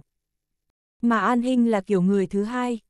Cô là công chúa nhỏ của nhà họ An, chút vấp ngã này không thể nào đánh bại cô được. Vào lúc này, chuông cửa vang lên, An Hinh tưởng rằng là nhân viên của khách sạn, nên vừa nghe điện thoại của Tô Yên, vừa đi ra mở cửa. Khi An Hinh nhìn thấy người trước cửa là An Minh, cô giật mình mau chóng đóng cửa lại. Nhưng cuối cùng vẫn chậm một chút. An Minh tức tối chặn cửa lại, theo tôi về. Tôi sẽ không về đâu, An Minh, anh là đồ khốn, cút. An Hinh nhìn thấy An Minh, cảm xúc trở nên vô cùng kích động. Cuộc nói chuyện của hai người truyền vào trong tai của Tô Yên ở bên kia điện thoại, Tô Yên căng thẳng gọi, Hinh Hinh. Có chuyện gì vậy? An Minh để ý thấy An Hinh vẫn đang nghe điện thoại, đưa tay ra giật, An Hinh cúp máy trước một bước. An Minh, anh cút cho tôi, anh còn không đi tôi sẽ la lên, báo cảnh sát đó. Ánh mắt An Hinh nhìn An Minh mang theo hận thù, cũng xen lẫn sự hoảng sợ, cùng lắm thì xé rách mặt nạ, ai cũng đừng hòng sống yên ổn, để cho tất cả mọi người biết được bộ mặt thật của anh, anh chính là một tên súc sinh. An Minh trở chân đóng cửa lại, nhìn An Hinh ở trước mặt, ánh mắt đau thương, anh ta đè lại nỗi đau trong lòng, lạnh giọng nói tôi nói lại lần cuối cùng, theo tôi về. Không, tôi sẽ không về đâu. An Hinh lùi ra sau, chân không cẩn thận đụng vào bàn, làm vỡ chén thuốc vừa rồi. Một mùi thuốc trung y lan tỏa trong không khí, ánh mắt của An Minh rơi lên cái chén sứ, em đang uống thuốc. Đây là thuốc gì, em bị làm sao, có chỗ nào không thoải mái sao? Không cần anh quan tâm, An hình sợ bị An Minh biết, vừa trột dạ vừa hoảng loạn nhặt chén sứ lên. Bởi vì cô quá sợ hãi, tay không cẩn thận bị cắt đứt. SH, máu bóng chốc trào ra. An Minh nhìn thấy An hình chảy máu, chân vô thức bước về trước một bước, sâu trong đáy mắt lướt qua chút đau lòng bị giấu rất sâu. An hình như không cảm thấy đau mà ném chén sứ vào trong thùng rác, rồi lại lau dọn sạch nước thuốc trên đất, cô muốn tiêu hủy chứng cứ, không thể để An Minh biết được. Đứng dậy, theo tôi về. An Minh bước lên kéo An Hinh đi ra cửa. Tôi nói rồi, tôi không đi. An Hinh dãy dụa. An Minh cười lạnh, sao, em vẫn đang đợi tên nhóc Lý Văn kia đến cứu em sao? Tôi nói cho em biết, bây giờ đến bản thân mình cậu ta còn khó bảo toàn kia kìa. Anh nói vậy là sao? An Hinh ngẩn ra một lúc, anh đã làm gì? Anh là đồ khốn, anh đã làm gì anh ấy? Quan tâm cậu ta vậy sao? An Minh cười lạnh một tiếng, An Hinh càng quan tâm đến Lý Văn, sự căm thức và sát ý trong lòng anh ta càng sâu hơn, tôi đã từng cảnh cáo em, đừng qua lại với thằng nhóc đó nữa, là do bản thân em không nghe, có kết quả gì em phải tự mình gánh chịu. Trong bệnh viện, trong lòng Tô Yên cảm thấy bất an, An Minh đến tìm An Hinh, vậy thì còn gì nữa? Bây giờ cô lại không thể ra viện, nghĩ đi nghĩ lại, cũng chỉ có thể gọi điện thoại cho Lâu Doanh thôi. Lâu Doanh, giúp chị đến khách sạn Hoa Viên một chuyến, ngay bây giờ, An Hinh gặp chuyện rồi, sau khi em đến. Tô Yên dặn dò Lâu Doanh đến rồi thì nên làm cái gì? Lâu Doanh đồng ý một cách thoải mái, sau đó lập tức đi. Điện thoại Tô Yên cúp máy không bao lâu, lại đến lượt Lục Cận Phong nhận được điện thoại, là do Vạn Nhất gọi đến. Tô Yên không biết Vạn Nhất và Lục Cận Phong đã nói gì, chỉ thấy sắc mặt Lục Cận Phong nghiêm trọng, nhìn Tô Yên nói một câu, xảy ra chuyện rồi. chương 545, sinh thai đôi sẽ có nguy hiểm. Lời của Lục Cận Phong khiến trong lòng Tô Yên lục bột một tiếng, có dự cảm không lành. Là Lý Văn xảy ra chuyện rồi. Trên đường Lý Văn về nhà lấy thuốc cho An Hinh thì bị một đám côn đồ chặn lại. Vạn Nhất và Lãnh Phùng uống bia với nhau cả đêm, đúng lúc đi ngang qua, nếu không sợ là Lý Văn lành ít giữ nhiều rồi. Lúc này, Lý Văn đang trên đường được đưa đến bệnh viện, hai vợ chồng Lý Mộc Sinh và Lưu Tuyết Lam đối xử với Tô Yên rất tốt, cô cũng đã nhận đứa em trai nuôi Lý Văn này rồi, bây giờ Lý Văn xảy ra chuyện, chắc chắn là cô không thể khoanh tay đứng nhìn. Tô Yên trượt xe lăn đi đến trước cổng bệnh viện đợi cùng với Lục Cận Phong, một lúc sau, xe cấp cứu chở Lý Văn đã đến. Các bác sĩ đã đợi sẵn từ sớm, dùng cáng cứu thương khiêng Lý Văn xuống xe, sau đó dùng xe đẩy đưa anh ta vào phòng phẫu thuật. Tô Yên nhìn thấy cả quá trình Lý Văn được đưa vào trong phòng phẫu thuật, khoảnh khắc nhìn thấy Lý Văn được khiêng xuống, cô giật mình một cái, cả người Lý Văn toàn là máu, quần áo đều dính máu đỏ, trên đầu có một cái lỗ rất lớn, trên mặt cũng toàn là máu. Vạn nhất đi theo xe cấp cứu đến, còn lãnh phùng thì đưa mấy tên côn đồ đánh Lý Văn bị thương về cục cảnh sát. Tô Yên nhìn về phía vạn nhất, đã xảy ra chuyện gì vậy? Là do ai làm, hay là Lý Văn đã đắc tội với ai? Vạn nhất thở dài một hơi, chống eo nói, là người kia của nhà họ An. Tô Yên lập tức phản ứng ra, An Minh. Nếu như là An Minh, Tô Yên có thể đoán ra được đại khái nguyên nguyên rồi. Là vì An Hinh. Vạn nhất gật đầu, chị dâu, lần này chị phải hơi đau đầu rồi. Tô Yên và An Hinh là bạn tốt, Lý Văn lại là em nuôi của Tô Yên, Lý Văn bị thương đến như vậy, nhà họ Lý chắc chắn sẽ không chịu để yên, nhà họ An cũng không phải là quả hồng mềm, Tô Yên hoặc là không tham dự vào, hoặc là giống như vạn nhất nói, phải đau đầu rồi. Lục Cận Phong nói, xem tình hình của Lý Văn trước đã, những chuyện khác, nhà họ Lý và nhà họ An sẽ tự xử lý. Ý trong lời nói của anh là, không nhúng tay vào.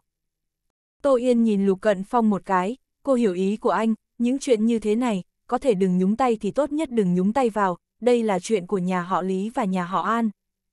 Lý Văn vào phòng phẫu thuật không bao lâu, hai vợ chồng Lý Mộc Sinh và Lưu Tuyết Lam đã đến. Chắc là Lý Mộc Sinh đã đánh tiếng với bên cục cảnh sát, mấy tên côn đồ kia đều đã khai ra, nói là do An Minh đưa tiền bảo bọn họ làm việc, sau khi biết là do nhà họ An làm, Lý Mộc Sinh nổi cơn thịnh nộ. Nhà họ An thật hiếp người quá đáng mà. Lưu Tuyết Lam cũng tức không chịu được, vừa lau nước mắt nửa tức giận nói, nếu như con trai tôi có mệnh hệ gì, con trai của nhà họ An cũng đừng hòng sống yên ổn, phải đền mạng cho con trai tôi. Con cái đều là miếng thịt trong tim cha mẹ, Lý Văn bị đánh đến phải vào phòng phẫu thuật, Lưu Tuyết Lam có thể không đau lòng đến cam phẫn sao. Tô Yên an ủi nói, mẹ nuôi, đừng lo lắng, Lý Văn sẽ không sao đâu. Hai vợ chồng Lý Mục Sinh sốt ruột đi qua đi lại trước cửa phòng phẫu thuật, Lý Văn mất máu quá nhiều, từng túi máu được đưa vào phòng phẫu thuật, Lưu Tuyết Lam lại càng hoảng loạn và lo lắng, lòng bàn tay đổ đầy mồ hôi lạnh.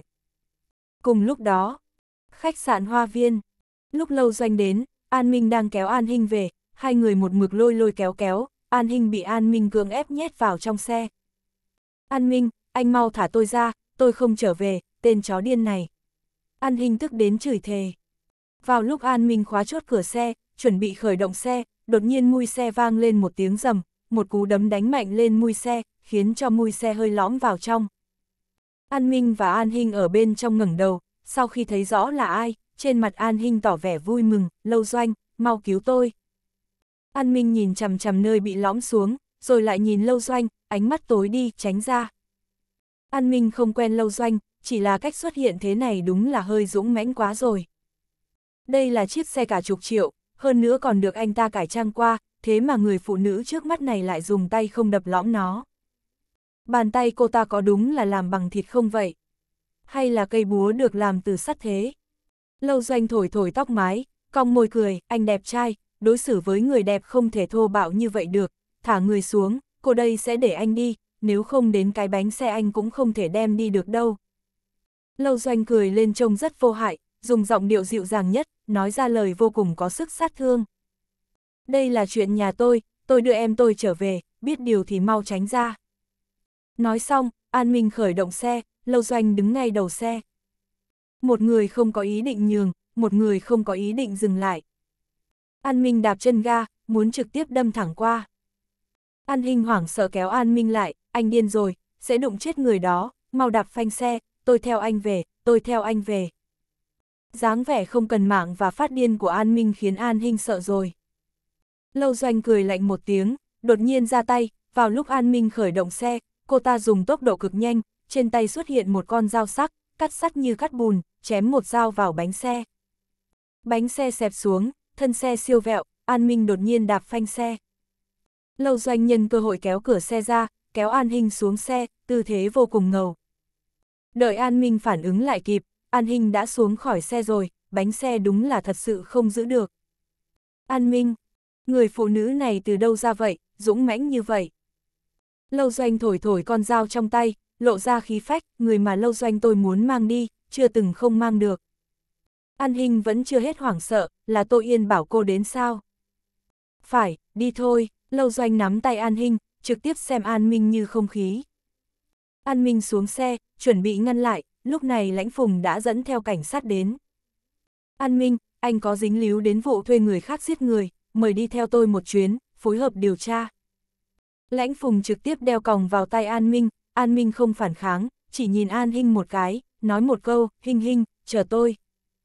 Bốn chữ này khiến An Hinh sởn cả gai ốc, vô thức trốn sau lưng lâu doanh. An Minh lên xe cảnh sát, lãnh phùng đi về phía lâu doanh, sao cô lại ở đây? Lâu doanh nhún vai, chị tôi gọi điện thoại bảo tôi đến đây một chuyến, giải cứu người đẹp này, đội trưởng lãnh, người vừa rồi đã giết người sao? Lá gan thật không nhỏ nhỉ. Nghe thấy hai chữ giết người, An Hinh nhớ đến lời An Minh nói lúc nãy, mau chóng hỏi, đội trưởng lãnh, An Minh đã làm ai bị thương? Có phải là Lý Văn xảy ra chuyện rồi không? Lãnh Phùng gật đầu, An Minh thuê người ta giết người, bây giờ Lý Văn đang ở trong bệnh viện cấp cứu. Nghe vậy, sắc mặt An Hinh trắng bệch, nước mắt rơi xuống, ở bệnh viện nào, mau đưa tôi đi. Lãnh Phùng nhìn về phía lâu doanh, cô đưa cô ấy đi đi, tôi phải trở về cục cảnh sát, ở trong bệnh viện mà Tô Yên đang ở. Không thành vấn đề. Lâu doanh lái xe đưa An Hinh đi, trên đường, An Hinh cứ mãi khóc lóc, thời gian này cuộc sống của cô rất tồi tệ, còn làm liên lụy đến Lý Văn, trong lòng cô rất áy náy, cũng rất đè nén. Lâu doanh không giỏi an ủi người khác, nhưng thấy An Hinh khóc đến đau lòng như vậy, cô ta đưa tay ra vỗ lên vai An Hinh, đừng khóc nữa, đều là chuyện nhỏ mà, chẳng có gì mà đau buồn cả, đúng rồi, sao chị lại chọc vào người vừa rồi vậy? Người đó là anh tôi. Hả? Lâu doanh thật sự không biết tầng quan hệ này. Quan hệ giữa anh em bây giờ đều tệ như vậy sao? Xem ra sinh thai đôi cũng sẽ có nguy hiểm rất lớn. An Hinh không nói gì, có vài chuyện, cô cũng không nói nên lời. Cô và An Minh không phải là anh em ruột, chuyện này cũng không thể nói rõ ràng. Sau khi đến bệnh viện, An Hinh chạy thẳng đến phòng phẫu thuật. Cuộc phẫu thuật vẫn chưa kết thúc, Lưu Tuyết Lam sốt ruột đi qua đi lại, còn Lý Mộc Sinh thì đi qua một bên gọi điện thoại. Bác gái, Lý Văn thế nào rồi ạ? À? An Hinh lo lắng cho an nguy của Lý Văn, khóc lóc nói, xin lỗi, đều là lỗi của cháu, là do cháu hại anh ấy. chương 546, bữa thịt này, đảm bảo no.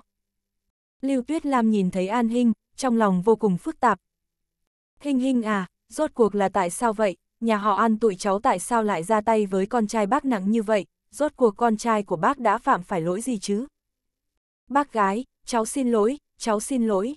An Hinh vừa khóc lóc vừa xin lỗi, cô không cách nào nói ra được rằng An Minh vì ghen tuông nên mới tìm người đánh Lý Văn. Bây giờ, người biết cô và An Minh không phải anh em ruột chỉ có một mình Tô Yên. Những bí mật dơ bẩn đó, cô cũng khó mà mở miệng. Việc mà An Minh làm với cô, cô lại càng khó nói ra khỏi miệng. Tô Yên nhìn thấy cảnh tượng này, cũng không biết nên nói gì, sự việc đã phát triển đến mức này, ai cũng không ngờ trước được. Lưu Tuyết Lam lắc đầu, không muốn nhìn An Hinh nữa nên quay mặt đi, cháu đi đi, chuyện tối nay, nhà họ Lý Bác tuyệt đối sẽ phải lấy lại công bằng cho con trai mình, cháu cũng đừng đến nói những lời cầu xin tha thứ. Lưu Tuyết Lam tưởng rằng An Hinh đến để xin tha thứ, hơn nữa Lý Văn vẫn chưa biết tình hình như thế nào, nên mới không muốn gặp An Hinh. An Hinh hít hít mũi, rất lo lắng nói, bác gái, cháu muốn đợi phẫu thuật kết thúc, cháu muốn chắc chắn Lý Văn không sao mới có thể yên lòng, bác để cháu ở lại đây được không, chuyện tối nay cháu nhất định sẽ cho nhà họ Lý một lời giải thích, nhà họ Lý muốn xử lý như thế nào cũng được. Chuyện này do cô mà ra, An Hinh cũng không muốn phủi sạch quan hệ. Thái độ của An Hinh rất thành khẩn, Lưu Tuyết Lam cũng không đành lòng nói gì nữa, trước đó bà cũng rất thích An Hinh. Lâu doanh ngáp một cái, vạn nhất đi qua từ đầu hành lang bên kia, thấy lâu doanh ở đây, giống như sói nhìn thấy thịt, trực tiếp nhào qua. Vợ, em cũng đến à? Lâu doanh liếc vãn nhất một cái, bóp mũi lại, cả người đầy mùi rượu, lại đi uống rượu à? Với ai? Uống với lãnh phùng hai ly. Vạn nhất cười hi hi, vợ à, mệt rồi phải không, đi, về nhà ngủ một giấc. Bọn họ không cần phải trông chừng ở đây. Tô Yên thấy lâu doanh buồn ngủ, nói, hai người về trước đi. Vậy được, tụi em đi trước đây. Lâu doanh nói chị, có việc gì gọi cho em. Ừ, Tô Yên và Lục Cận Phong vẫn đang ở ngoài cửa phòng phẫu thuật để đợi tin tức. Vạn Nhất và Lâu Doanh rời đi trước. Vạn Nhất đã uống rượu nên không thể lái xe, mặt dày mày dạn ngồi lên xe của Lâu Doanh, vợ à, có phải cha mẹ anh đến tìm em không? Không biết, Lâu Doanh giả ngốc, em và bọn họ cũng đâu có chủ đề gì để nói, bọn họ tìm em làm gì? Ý của cha mẹ anh là, hôn lễ của hai chúng ta có phải nên tổ chức một chút hay không? Vạn Nhất nói, nhà họ vạn tụi anh cưới vợ, cũng không thể quá tùy tiện được. Vạn Nhất, ngày mai có phải là thứ hai không? Ừ. Suy nghĩ của lâu doanh nhảy vọt quá nhanh, Vạn Nhất hơi theo không kịp, sao vậy? Ngày mai mang theo giấy kết hôn, chúng ta đi đổi giấy khác. Ý của cô ta chính là, ly hôn. Vạn Nhất, vợ à, anh đang nói về chuyện tổ chức hôn lễ. Em đang nói chuyện ly hôn. Có thể nói chuyện một cách vui vẻ hay không vậy? Lâu doanh nhìn về phía vạn nhất, còn tổ chức hay không? Không tổ chức nữa. Làm sao anh ta dám nhắc đến nữa? Nhưng anh ta rất bực bội. Không phải chỉ là tổ chức hôn lễ thôi sao, tại sao em lại bài xích như vậy? Không phải tất cả phụ nữ đều rất muốn mặc váy cưới hay sao? Bỏ chữ sao đi, không phải tất cả phụ nữ đều muốn mặc váy cưới, ít nhất là cô đây không hề muốn. Lâu doanh nhìn thẳng phía trước, giọng nói đều đều, hôm mẹ em chết, chính là mặc váy cưới. Lúc mẹ qua đời, Lâu Doanh vẫn còn nhỏ, cô ta không có quá nhiều ấn tượng, nhưng hình ảnh mẹ mặc váy cưới chết đi lại khiến cô ta nhớ rõ sâu sắc, cả đời này cũng không thể nào quên. Giọng điệu của Lâu Doanh rất bình tĩnh, nhưng lại khiến tim vạn nhất thất lại, anh ta vẫn là chưa đủ hiểu cô. Lâu Doanh lái xe, trên đường đi, cả hai người đều không nói gì. Cả đoạn đường vạn nhất đều nhìn chằm chằm Lâu Doanh, giống như có nhìn thế nào cũng không đủ. Duyên phận là thứ rất kỳ diệu, anh ta và Lâu Doanh ồn ào với nhau mấy năm, thật sự không ngờ có một ngày Lâu Doanh lại trở thành vợ của anh ta. Khi sắp về đến nhà, Vạn Nhất đột nhiên nói, nếu như sớm biết em sẽ trở thành vợ của anh, lần đó ở trong hầm rượu, anh đã không nên tha cho em. Hầm rượu. Lâu Doanh nhớ ra rồi, là đống rượu mà Vạn Nhất cất giấu, lúc đó cô ta đã uống nhầm chai rượu mà Vạn Nhất chuẩn bị cho Tô Yên và Lục Cận Phong, cuối cùng còn phải đến bệnh viện để giải quyết. Nếu đổi lại là người khác, làm sao có thể bỏ lỡ cơ hội tốt như vậy, càng đừng nói là cuối cùng còn đưa cô ta về cục cảnh sát. Khiến cô ta lại lần nữa hoài nghi sức hút của bản thân mình, cũng hoài nghi vạn nhất thật sự không được. Lâu doanh một tay để trên bánh lái, quay đầu nhìn vạn nhất, hỏi cô đây đến bây giờ vẫn rất tò mò, lần đó là do anh thật sự không được, hay là do bà đây không đủ sức hút. Vạn nhất cười cười, đều không phải, mà là anh chưa chuẩn bị sẵn sàng để em mặc váy cưới. Lâu Doanh rất bất ngờ với câu trả lời này. Đã là người trưởng thành cả rồi, chơi trò tình một đêm gì đó cũng có thể chấp nhận được, nhưng suy nghĩ của vạn nhất vẫn dừng ở việc, không thể mặc váy cưới lên cho em thì sẽ không cởi nổi y của em. Lâu Doanh bật cười, một tay gẩy cầm vạn nhất, trêu chọc nói ôi, em đây là đã nhặt được một cậu bé đơn thuần rồi sao? Đừng châm lửa, bây giờ ông đây không có sức chống cự với em đâu. Lâu Doanh ngẩn ra, cười càng xấu xa hơn, nghịch ngợm sờ mó trên đùi vạn nhất một cái, sau khi sờ xong thì xuống xe đi vào trong nhà. Vợ, đây là do em chủ động đó. Trong lòng vạn nhất ngứa ngáy khó chịu, xuống xe đuổi theo vào. Vừa vào cửa, vạn nhất đã đặt lâu doanh lên cửa, bắt đầu công thành đoạt đất. Quả thật là quá đói rồi. Có thế nào cũng cảm thấy không đủ, lâu doanh là người theo chủ nghĩa hưởng thụ, hai người lại là vợ chồng hợp pháp, cộng thêm tối nay tâm trạng của cô ta không tệ, nên cũng thuận theo vạn nhất. Hai người lăn lộn từ phòng khách đến sofa, rồi đến cầu thang, đèn trong nhà đều không bật, cảm giác mờ ám này lại càng kích thích cảm xúc mãnh liệt của hai người. Sau trận mây mưa, cả hai đều mệt mỏi, vạn nhất mồ hôi đầm đìa, thở dốc nói, xem ra phải rèn luyện sức khỏe rồi. Thực ra những ngày này, vạn nhất vẫn luôn rèn luyện sức khỏe, sợ bị lâu doanh chê bai. Nếu anh không được, lần sau đổi thành em ở trên. Vạn nhất che mặt, vợ à, giữ chút mặt mũi cho anh với. Lâu doanh bóp cầm vạn nhất, yên tâm đi, em sẽ không nói ra chuyện bên dưới của anh đâu. Vạn nhất, anh ta vẫn cảm thấy thật là mất mặt. Lâu doanh nghỉ ngơi một lúc, ngồi dậy, kéo ngăn tủ ra, đổ hai viên thuốc trong một cái bình ra. Đây là thuốc tránh thai. Trước kia cô ta lén uống sau lưng vạn nhất, nhưng bây giờ, cô ta đều uống trước mặt vạn nhất. Lâu doanh cảm thấy chuyện này không cần giấu, cũng không cần che giấu suy nghĩ không muốn có con. Khi chưa có ý định có con, cô ta không muốn xảy ra chuyện ngoài ý muốn. Lâu doanh là người thiếu cảm giác an toàn, hoàn cảnh trưởng thành cũng khiến cô ta không có lòng tin với hôn nhân, bây giờ cô ta cảm thấy ở cùng vạn nhất cũng không tệ, nhưng không có nghĩa là cô ta sẽ đặt cả đời này lên người vạn nhất. Vạn nhất đã sớm biết lâu doanh đang ngừa thai, trong lòng không vui cũng là chuyện đương nhiên, nhưng anh ta cũng tôn trọng lâu doanh. Vạn nhất lật người, ôm lấy lâu doanh, sau này đừng uống thuốc nữa, anh sẽ làm biện pháp thật tốt. Được, lâu doanh không phải là người có tính cách óng ẹo, cô ta mở một ngọn đèn ngủ, châm một điếu thuốc lên. Một điếu thuốc sau khi xong việc. Vạn nhất, lâu doanh hút một nữa, một nhiên vỗ đùi một cái, chết rồi. chương 547, mặt nóng dán vào mông lạnh. Lâu doanh hoảng hốt kêu lên, vạn nhất giật mình một cái. Vợ, sao vậy? Phi Minh vẫn chưa về, hai chúng ta làm ra tiếng động lớn như vậy, vậy mà trong nhà vẫn yên tĩnh. Lâu doanh vội đi qua phòng Bạch Phi Minh xem, quả nhiên là cô ta không có ở đây. Vừa nhìn thời gian, đã là một giờ sáng rồi. Lâu doanh gọi điện thoại cho Bạch Phi Minh. Điện thoại kết nối, bên kia tiếng động ồn ào hỗn loạn, tiếng nhạc rock và roll và tiếng DJ đang vô cùng happy. Phi Minh, cậu đi đâu vậy? Bạch Phi Minh đi đến nơi yên tĩnh hơn một chút, quán bar, mình gặp chủ thuê, nhận một đơn. Cô ta chỉ nói vài chữ, lợi ít ý nhiều. Chuyện tốt thế này mà không dẫn mình theo. Lâu doanh cằn nhằn, thật không thú vị. Tiền thù lao theo quy tắc cũ, chia cho cậu một nửa. Phi Minh, yêu cậu chết mất, tặng cậu một nụ hôn một cái qua không khí nè.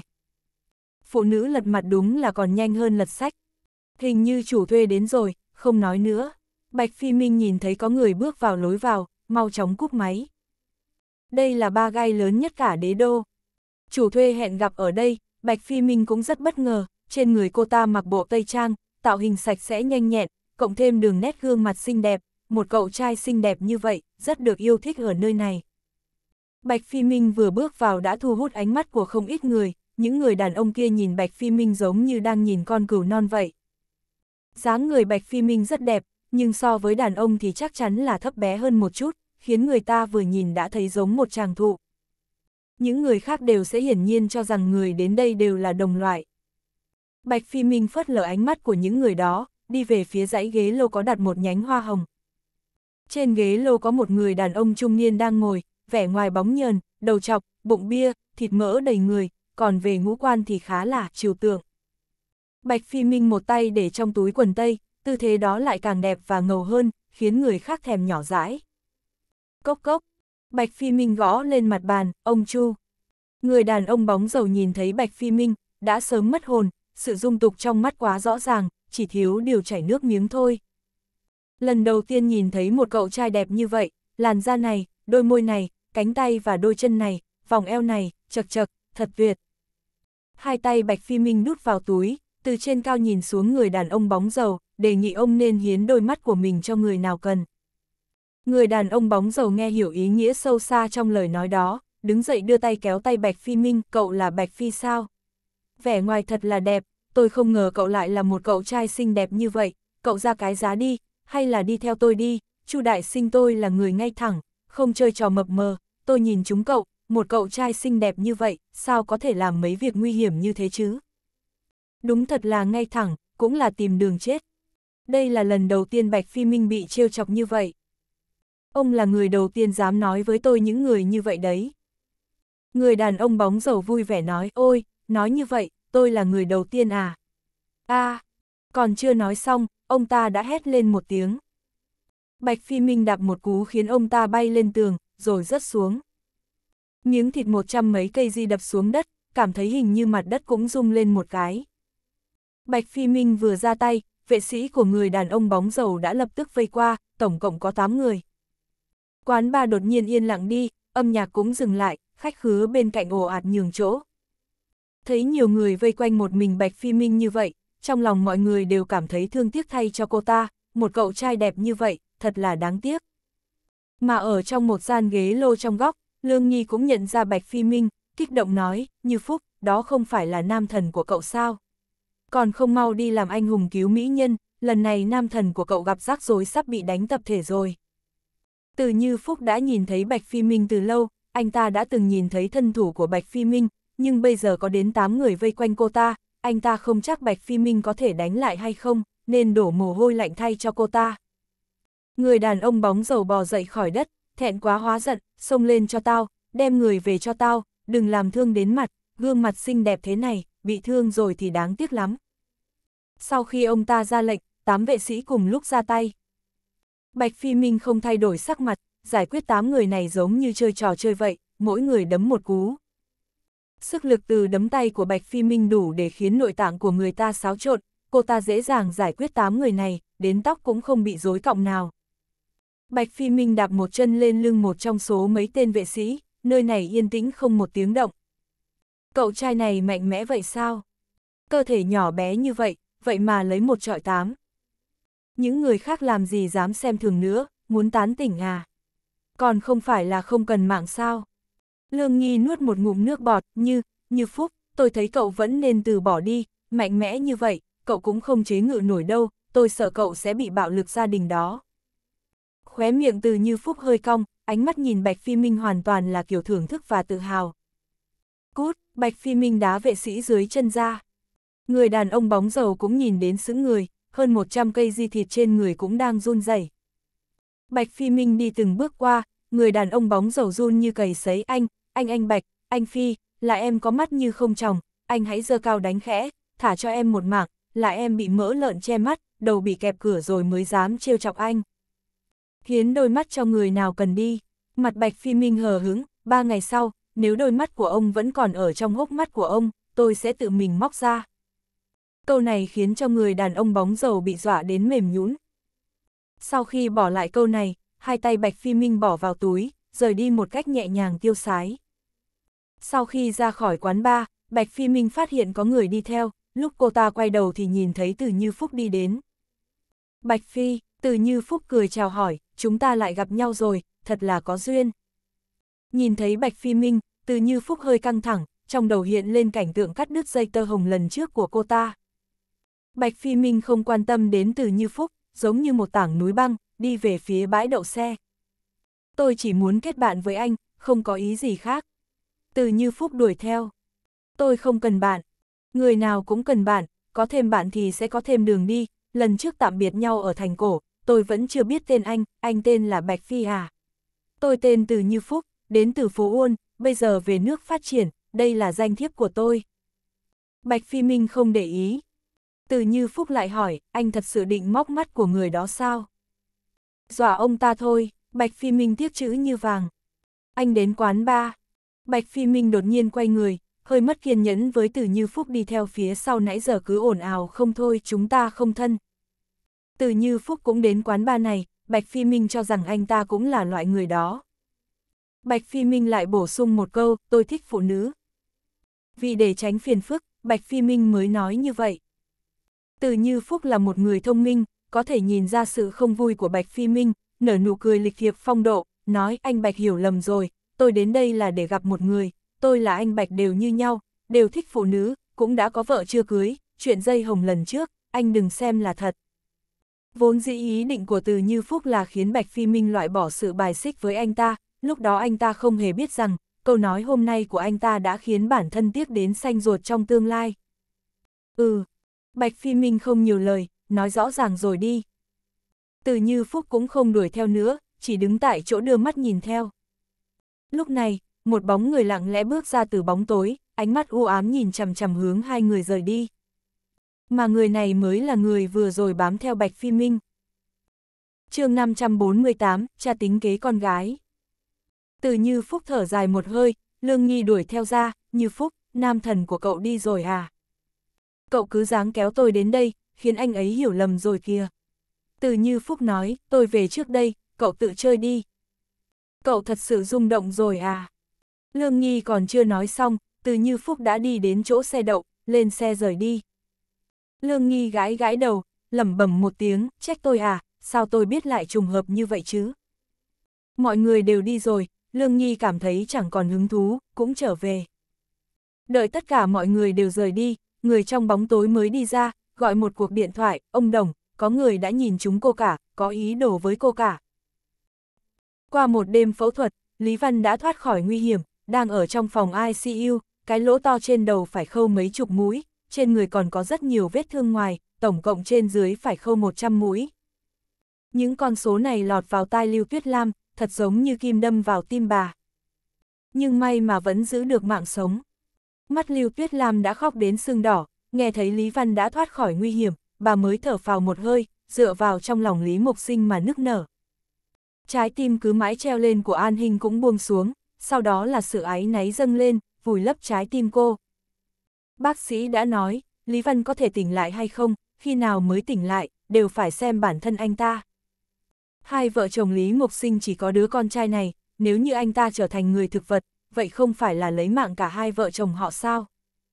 Trùng hợp là vào lúc này, An chí Thanh đến. Tổng Giám Đốc Lý, chị Lý, An chí Thanh mang theo quà nhận lỗi, thái độ thành khẩn mà nói lời xin lỗi, tôi đã nghe nói về chuyện của đứa con bất hiếu của tôi và quý tử của anh chị, nên vội trở về ngay trong đêm, đến tận nơi xin lỗi. Tổng Giám Đốc Lý, đều do tôi không biết dạy con nên mới xảy ra chuyện như ngày hôm nay, tôi bày tỏ sâu sắc lời xin lỗi của mình, mang theo sự thành tâm đến để giải quyết chuyện này với Tổng Giám Đốc Lý. Lý Mộc Sinh nổi trận lôi đình, giải quyết, con trai tôi còn đang nằm ở trong này, Tổng Giám Đốc An muốn giải quyết như thế nào? Hay là tôi tìm người đưa con trai của anh vào trong này nằm luôn nhé? Cảm xúc của Lưu Tuyết Lam cũng kích động, tôi chỉ có đứa con trai này, con trai tôi mà có mệnh hệ gì, con trai anh cứ đợi mà ngồi tù mọt gông đi, nhà họ Lý chúng tôi không chấp nhận bất cứ quả nhận lỗi và lời xin lỗi nào cả, tội của con trai anh gây ra, đâu phải chỉ cần một lời xin lỗi là có thể phủi sạch. An Hinh nhìn thấy cha mẹ hai bên vừa gặp mặt đã bốc lên mùi thuốc súng nồng nặc như vậy, trong lòng vô cùng khó chịu. An Hinh khóc lóc nói, xin lỗi, tất cả đều là lỗi của cháu, bác trai bác gái, mẹ, cha, người có tội là con. Cô không biết tại sao sự việc lại trở thành như vậy. An Chí Thanh đối lý, ông ta muốn cứu An Minh, thì phải tỏ rõ thái độ của mình. Tổng Giám Đốc Lý, chị Lý, tôi có thể hiểu tâm trạng của anh chị, chúng ta đều là người làm cha mẹ, đều hy vọng con cái của mình khỏe mạnh bình an. An Chí Thanh cúi người thật sâu với hai vợ chồng Lý Mục Sinh, tỏ ý xin lỗi, sự việc đã xảy ra rồi, bây giờ việc mà người lớn chúng ta cần làm đó là giải quyết vấn đề, tất cả chi phí thuốc men của quý tử nhà anh chị, nhà họ An tôi sẽ gánh vác, ngoài ra, chúng tôi sẽ bồi thường. Ý của An Chí Thanh là muốn giải quyết riêng. Lý Mục Sinh tức đến bật cười, một tay chống hông, sờ sờ đầu, Tổng Giám Đốc An, anh là cảm thấy nhà họ Lý tôi sắp phá sản rồi, đến chi phí thuốc men cũng không trả nổi sao. Cầm theo đồ của anh đi đi, còn về chuyện này, tôi tin pháp luật sẽ đưa ra một phán quyết công bằng. Lý Mộc Sinh quả quyết không chấp nhận hòa giải. Nhà họ An ở đế đô cũng rất có máu mặt, hai nhà đụng nhau, đối với giới kinh doanh mà nói, đây chắc chắn là một trận mưa to gió lớn. Thái độ của Lý Mộc Sinh đã thể hiện rõ, An Chí Thanh cũng biết có nói gì hay làm gì cũng vô dụng, chỉ có thể mang đồ rời đi. An Hinh nhìn hai vợ chồng Lý Mục Sinh đang trong cơn thịnh nộ, cúi người thật sâu, nói một câu, xin lỗi, sau đó chạy chậm đuổi theo An Chí Thanh. An Chí Thanh giống như chỉ trong một đêm đã già đi rất nhiều, lưng hơi còng đi, An Hinh đứng ở sau lưng ông ta, nhìn bóng lưng của cha mình, trong lòng lại càng khó chịu gấp nhiều lần. An Chí Thanh đi về phía xe đậu, đầu đột nhiên hơi choáng váng, ông mau chóng vịn vào đầu xe. Chú tuyển quản gia vội vàng bước lên, ông chủ, ông không sao chứ?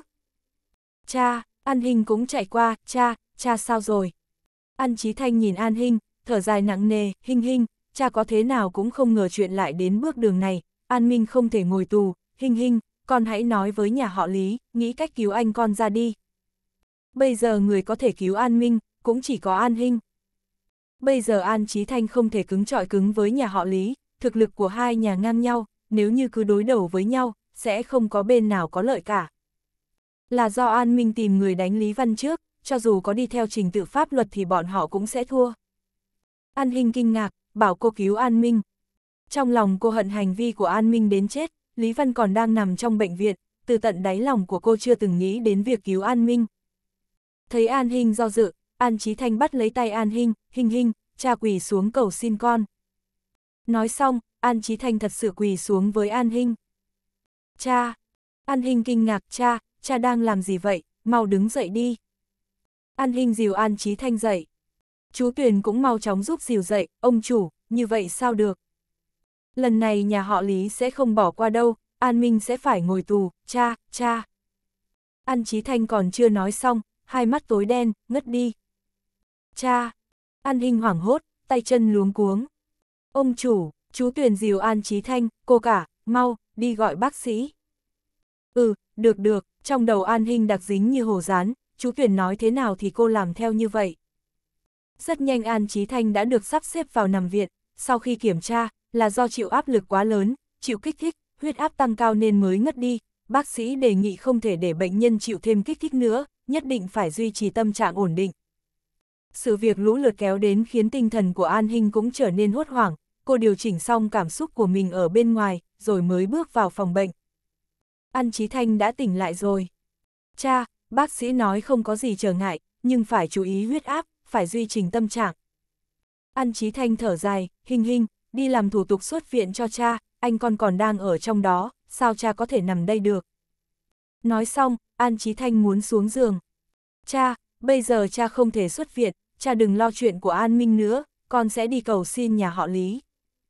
Thật sao, An Chí Thanh kéo tay An Hinh, Hinh Hinh, để con chịu ấm ức rồi, con nhất định phải cứu anh con ra, nhà họ Lý đưa ra điều kiện bồi thường gì cũng có thể đồng ý, nhưng tiền đề là phải cho anh con ra ngoài sớm.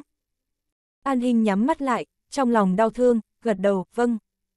An Hinh cụp mắt, nhìn An Chí Thanh, đỏ mắt hỏi, cha, chuyện này là do An Minh làm sao, anh ta đã nói với con rồi, anh ta không phải là con trai của cha, tại sao cha vẫn phải che chở cho anh như vậy chứ?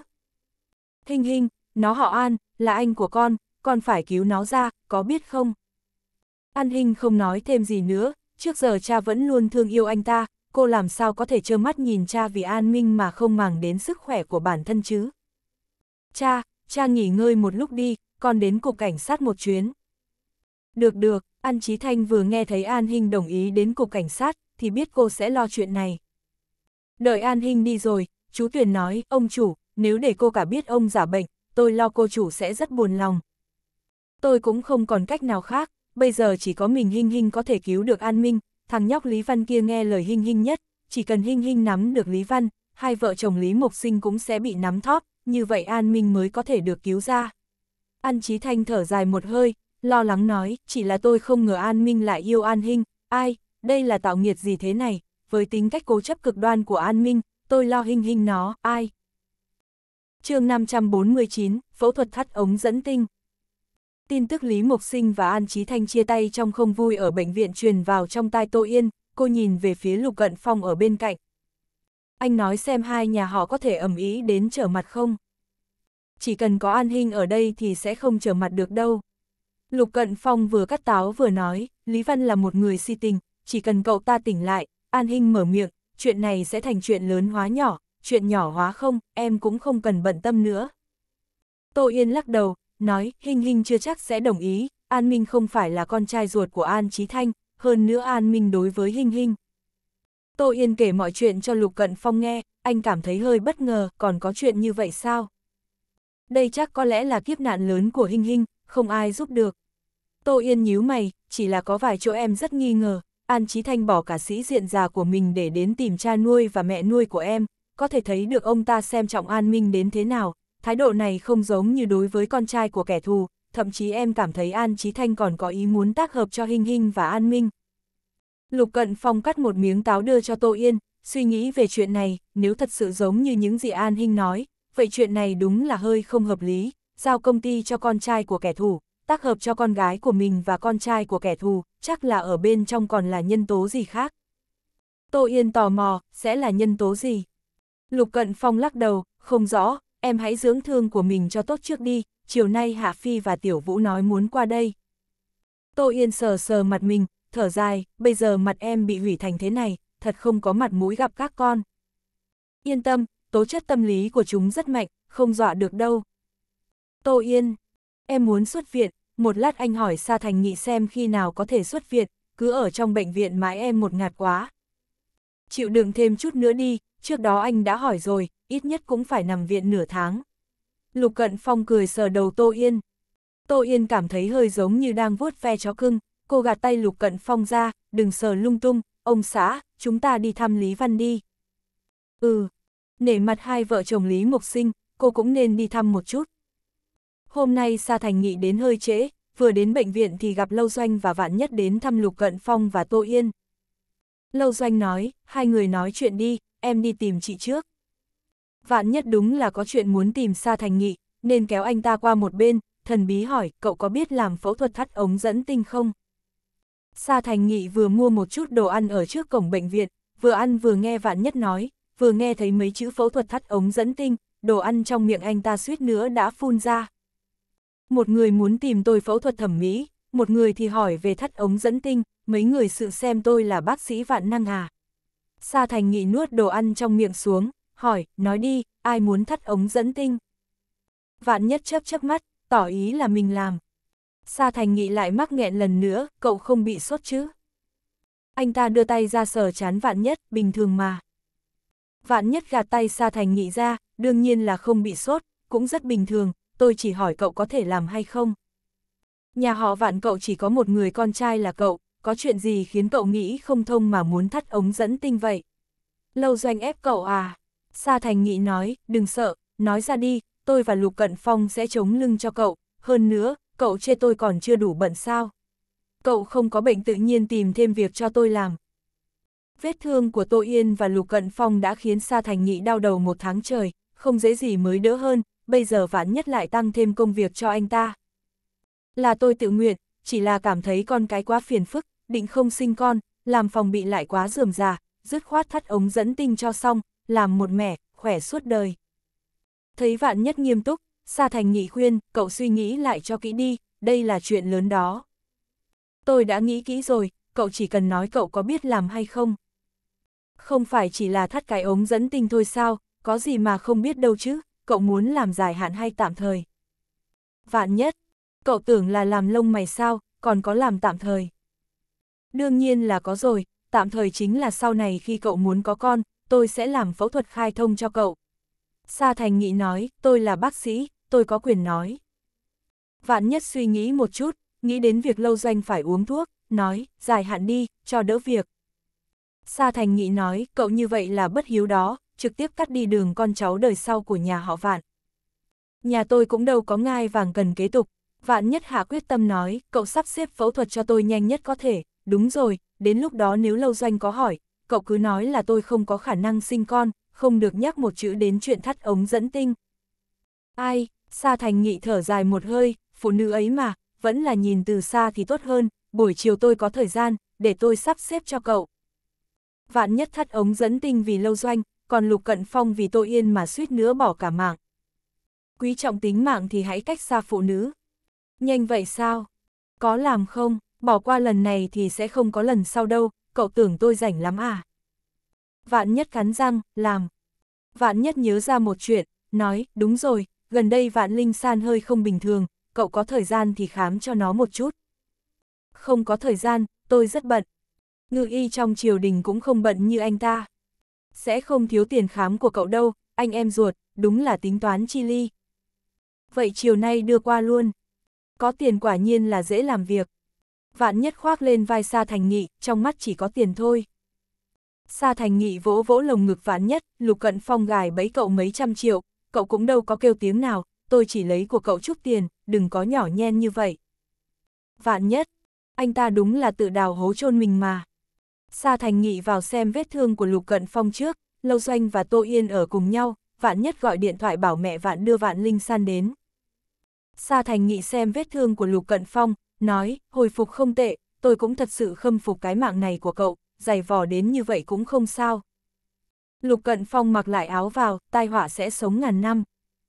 Câu trả lời này khiến tay Sa Thành Nghị run lên, lúc Lục Cận Phong hôn mê, anh ta đã nói một câu như vậy anh em quả nhiên là không đáng tin.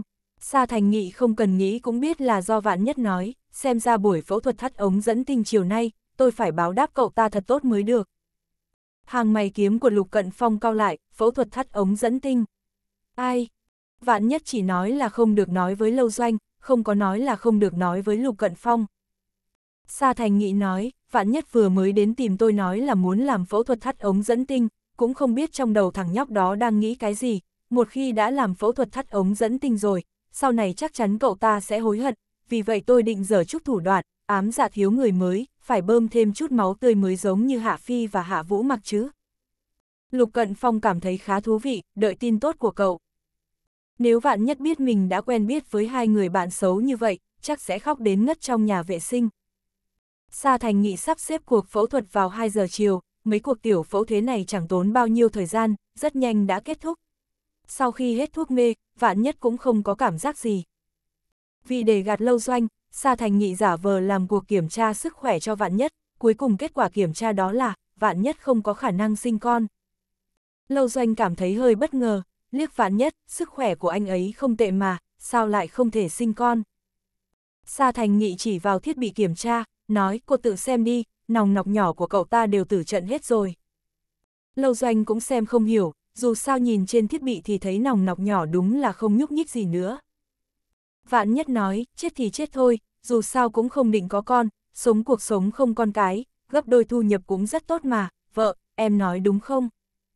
Lâu doanh rất muốn nói tốt cái rắm cô ta chỉ là tạm thời chưa định có con, không có nghĩa là sau này không muốn, nhưng bây giờ có kết quả là vạn nhất không thể sinh con, vậy chỉ có thể chịu thôi, dù sao cô ta cũng không thể đả kích vạn nhất thêm nữa, chỉ đành nói, mấy thứ phiền phức như con cái, em cũng không định sinh, không có con cái rất tốt, trước đó em còn đang định bàn bạc với anh về chuyện này, bây giờ vừa đúng, cũng không cần bàn bạc nữa.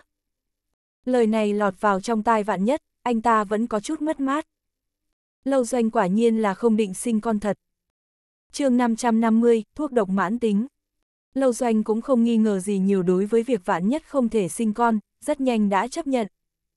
Cô ta còn vỗ vai vạn nhất, an ủi nói, anh yên tâm, em sẽ không cười nhạo anh đâu. Nếu sớm biết vạn nhất không thể sinh con, cô ta đã không uống thuốc rồi, uổng công. Vạn nhất lộ ra nụ cười còn khó coi hơn khóc. Sau khi làm kiểm tra cho vạn nhất xong, đến lượt vạn linh san. Gần đây vạn linh san luôn cảm thấy đầu óc không tỉnh táo, có lúc tính khí vô cùng nóng nảy, giống như thùng thuốc nổ vậy, châm một cái là cháy. Cô ta cũng đã đến bệnh viện kiểm tra, kết quả chẩn đoán là trầm cảm sau sinh. Đứa nhỏ đã sinh ra gần một năm rồi, cô ta vừa giàu có lại xinh đẹp, phía sau có một đống bảo mẫu chăm con cho, cha mẹ chồng cũng không dám chọc tức cô ta, gần đây sở hướng nam cũng rất an phận, sao cô ta có thể mắc chứng trầm cảm sau sinh được chứ? Sa Thành Nghị lấy máu của Vạn Linh San, làm phân tích máu. Sau khi làm phân tích mấy lần, Sa Thành Nghị khá bất ngờ với kết quả. Vạn Linh San đợi ở bên ngoài, Vạn Nhất thấy Sa Thành Nghị lắc đầu, hỏi thật sự có chuyện gì rồi sao? Ừ, Sa Thành Nghị nói, chúng độc, người đầu độc có tâm tư rất kín kẽ, bỏ liều lượng không nhiều, nhưng thấm vào từng chút một, chỉ cần nửa năm là đủ để lấy mạng. Chúng độc, ai dám đầu độc nó? Vạn nhất cũng ngạc nhiên, tính tình của vạn linh san đúng là hơi nóng nảy, miệng cũng hơi độc, nhưng cũng đâu đến mức khiến người ta đầu độc chứ. Lâu doanh châm chọc, đã tìm đường chết đến như vậy rồi, người khác chỉ dùng thuốc độc mãn tính, đã xem như là nương tay lắm rồi. Xét về quan hệ mà nói, bây giờ Vạn Linh San vẫn phải gọi Lâu Doanh một tiếng chị dâu. Mặc dù Vạn Linh San là con riêng, nhưng cuối cùng thì vẫn mang họ Vạn, có người muốn hại Vạn Linh San, chắc chắn Vạn nhất không thể ngồi yên không lo. Sa Thành Nghị, có thể chị không? Có thể chị, nhưng nếu không tìm ra người đầu độc, tôi ở bên này chị, bên kia lại bỏ độc, như vậy cũng chẳng có tác dụng. Lúc này Vạn Linh San vẫn không biết mình bị trúng độc, cô ta đang đợi ở hành lang, nửa ngày cũng không thấy có kết quả, cảm thấy hơi sốt ruột. Trong lòng sốt ruột, tính khí lại bộc phát, Vạn Linh San đang định đi vào phòng làm việc, thì sở hướng nam đến. Linh San, sở hướng nam chạy chậm đến, anh nghe mẹ nói em đến bệnh viện làm kiểm tra, cơ thể có chỗ nào không khỏe sao? Em không có chỗ nào không khỏe, đều là do bọn họ chuyện nhỏ hóa to thôi. Vạn Linh San nói, đều là lang băm, gạt tiền thôi, bác sĩ trước kia còn nói em bị trầm cảm, em thấy bọn họ ghen ghét em sống tốt quá thì đó. Em không sao thì tốt rồi. Sở hướng nam âm thầm thở vào một hơi, vậy anh đưa em về. Vừa chuẩn bị đi, mấy người vạn nhất đi từ trong ra. Nhìn thấy vạn nhất, trên mặt sở hướng nam nở nụ cười, anh cả.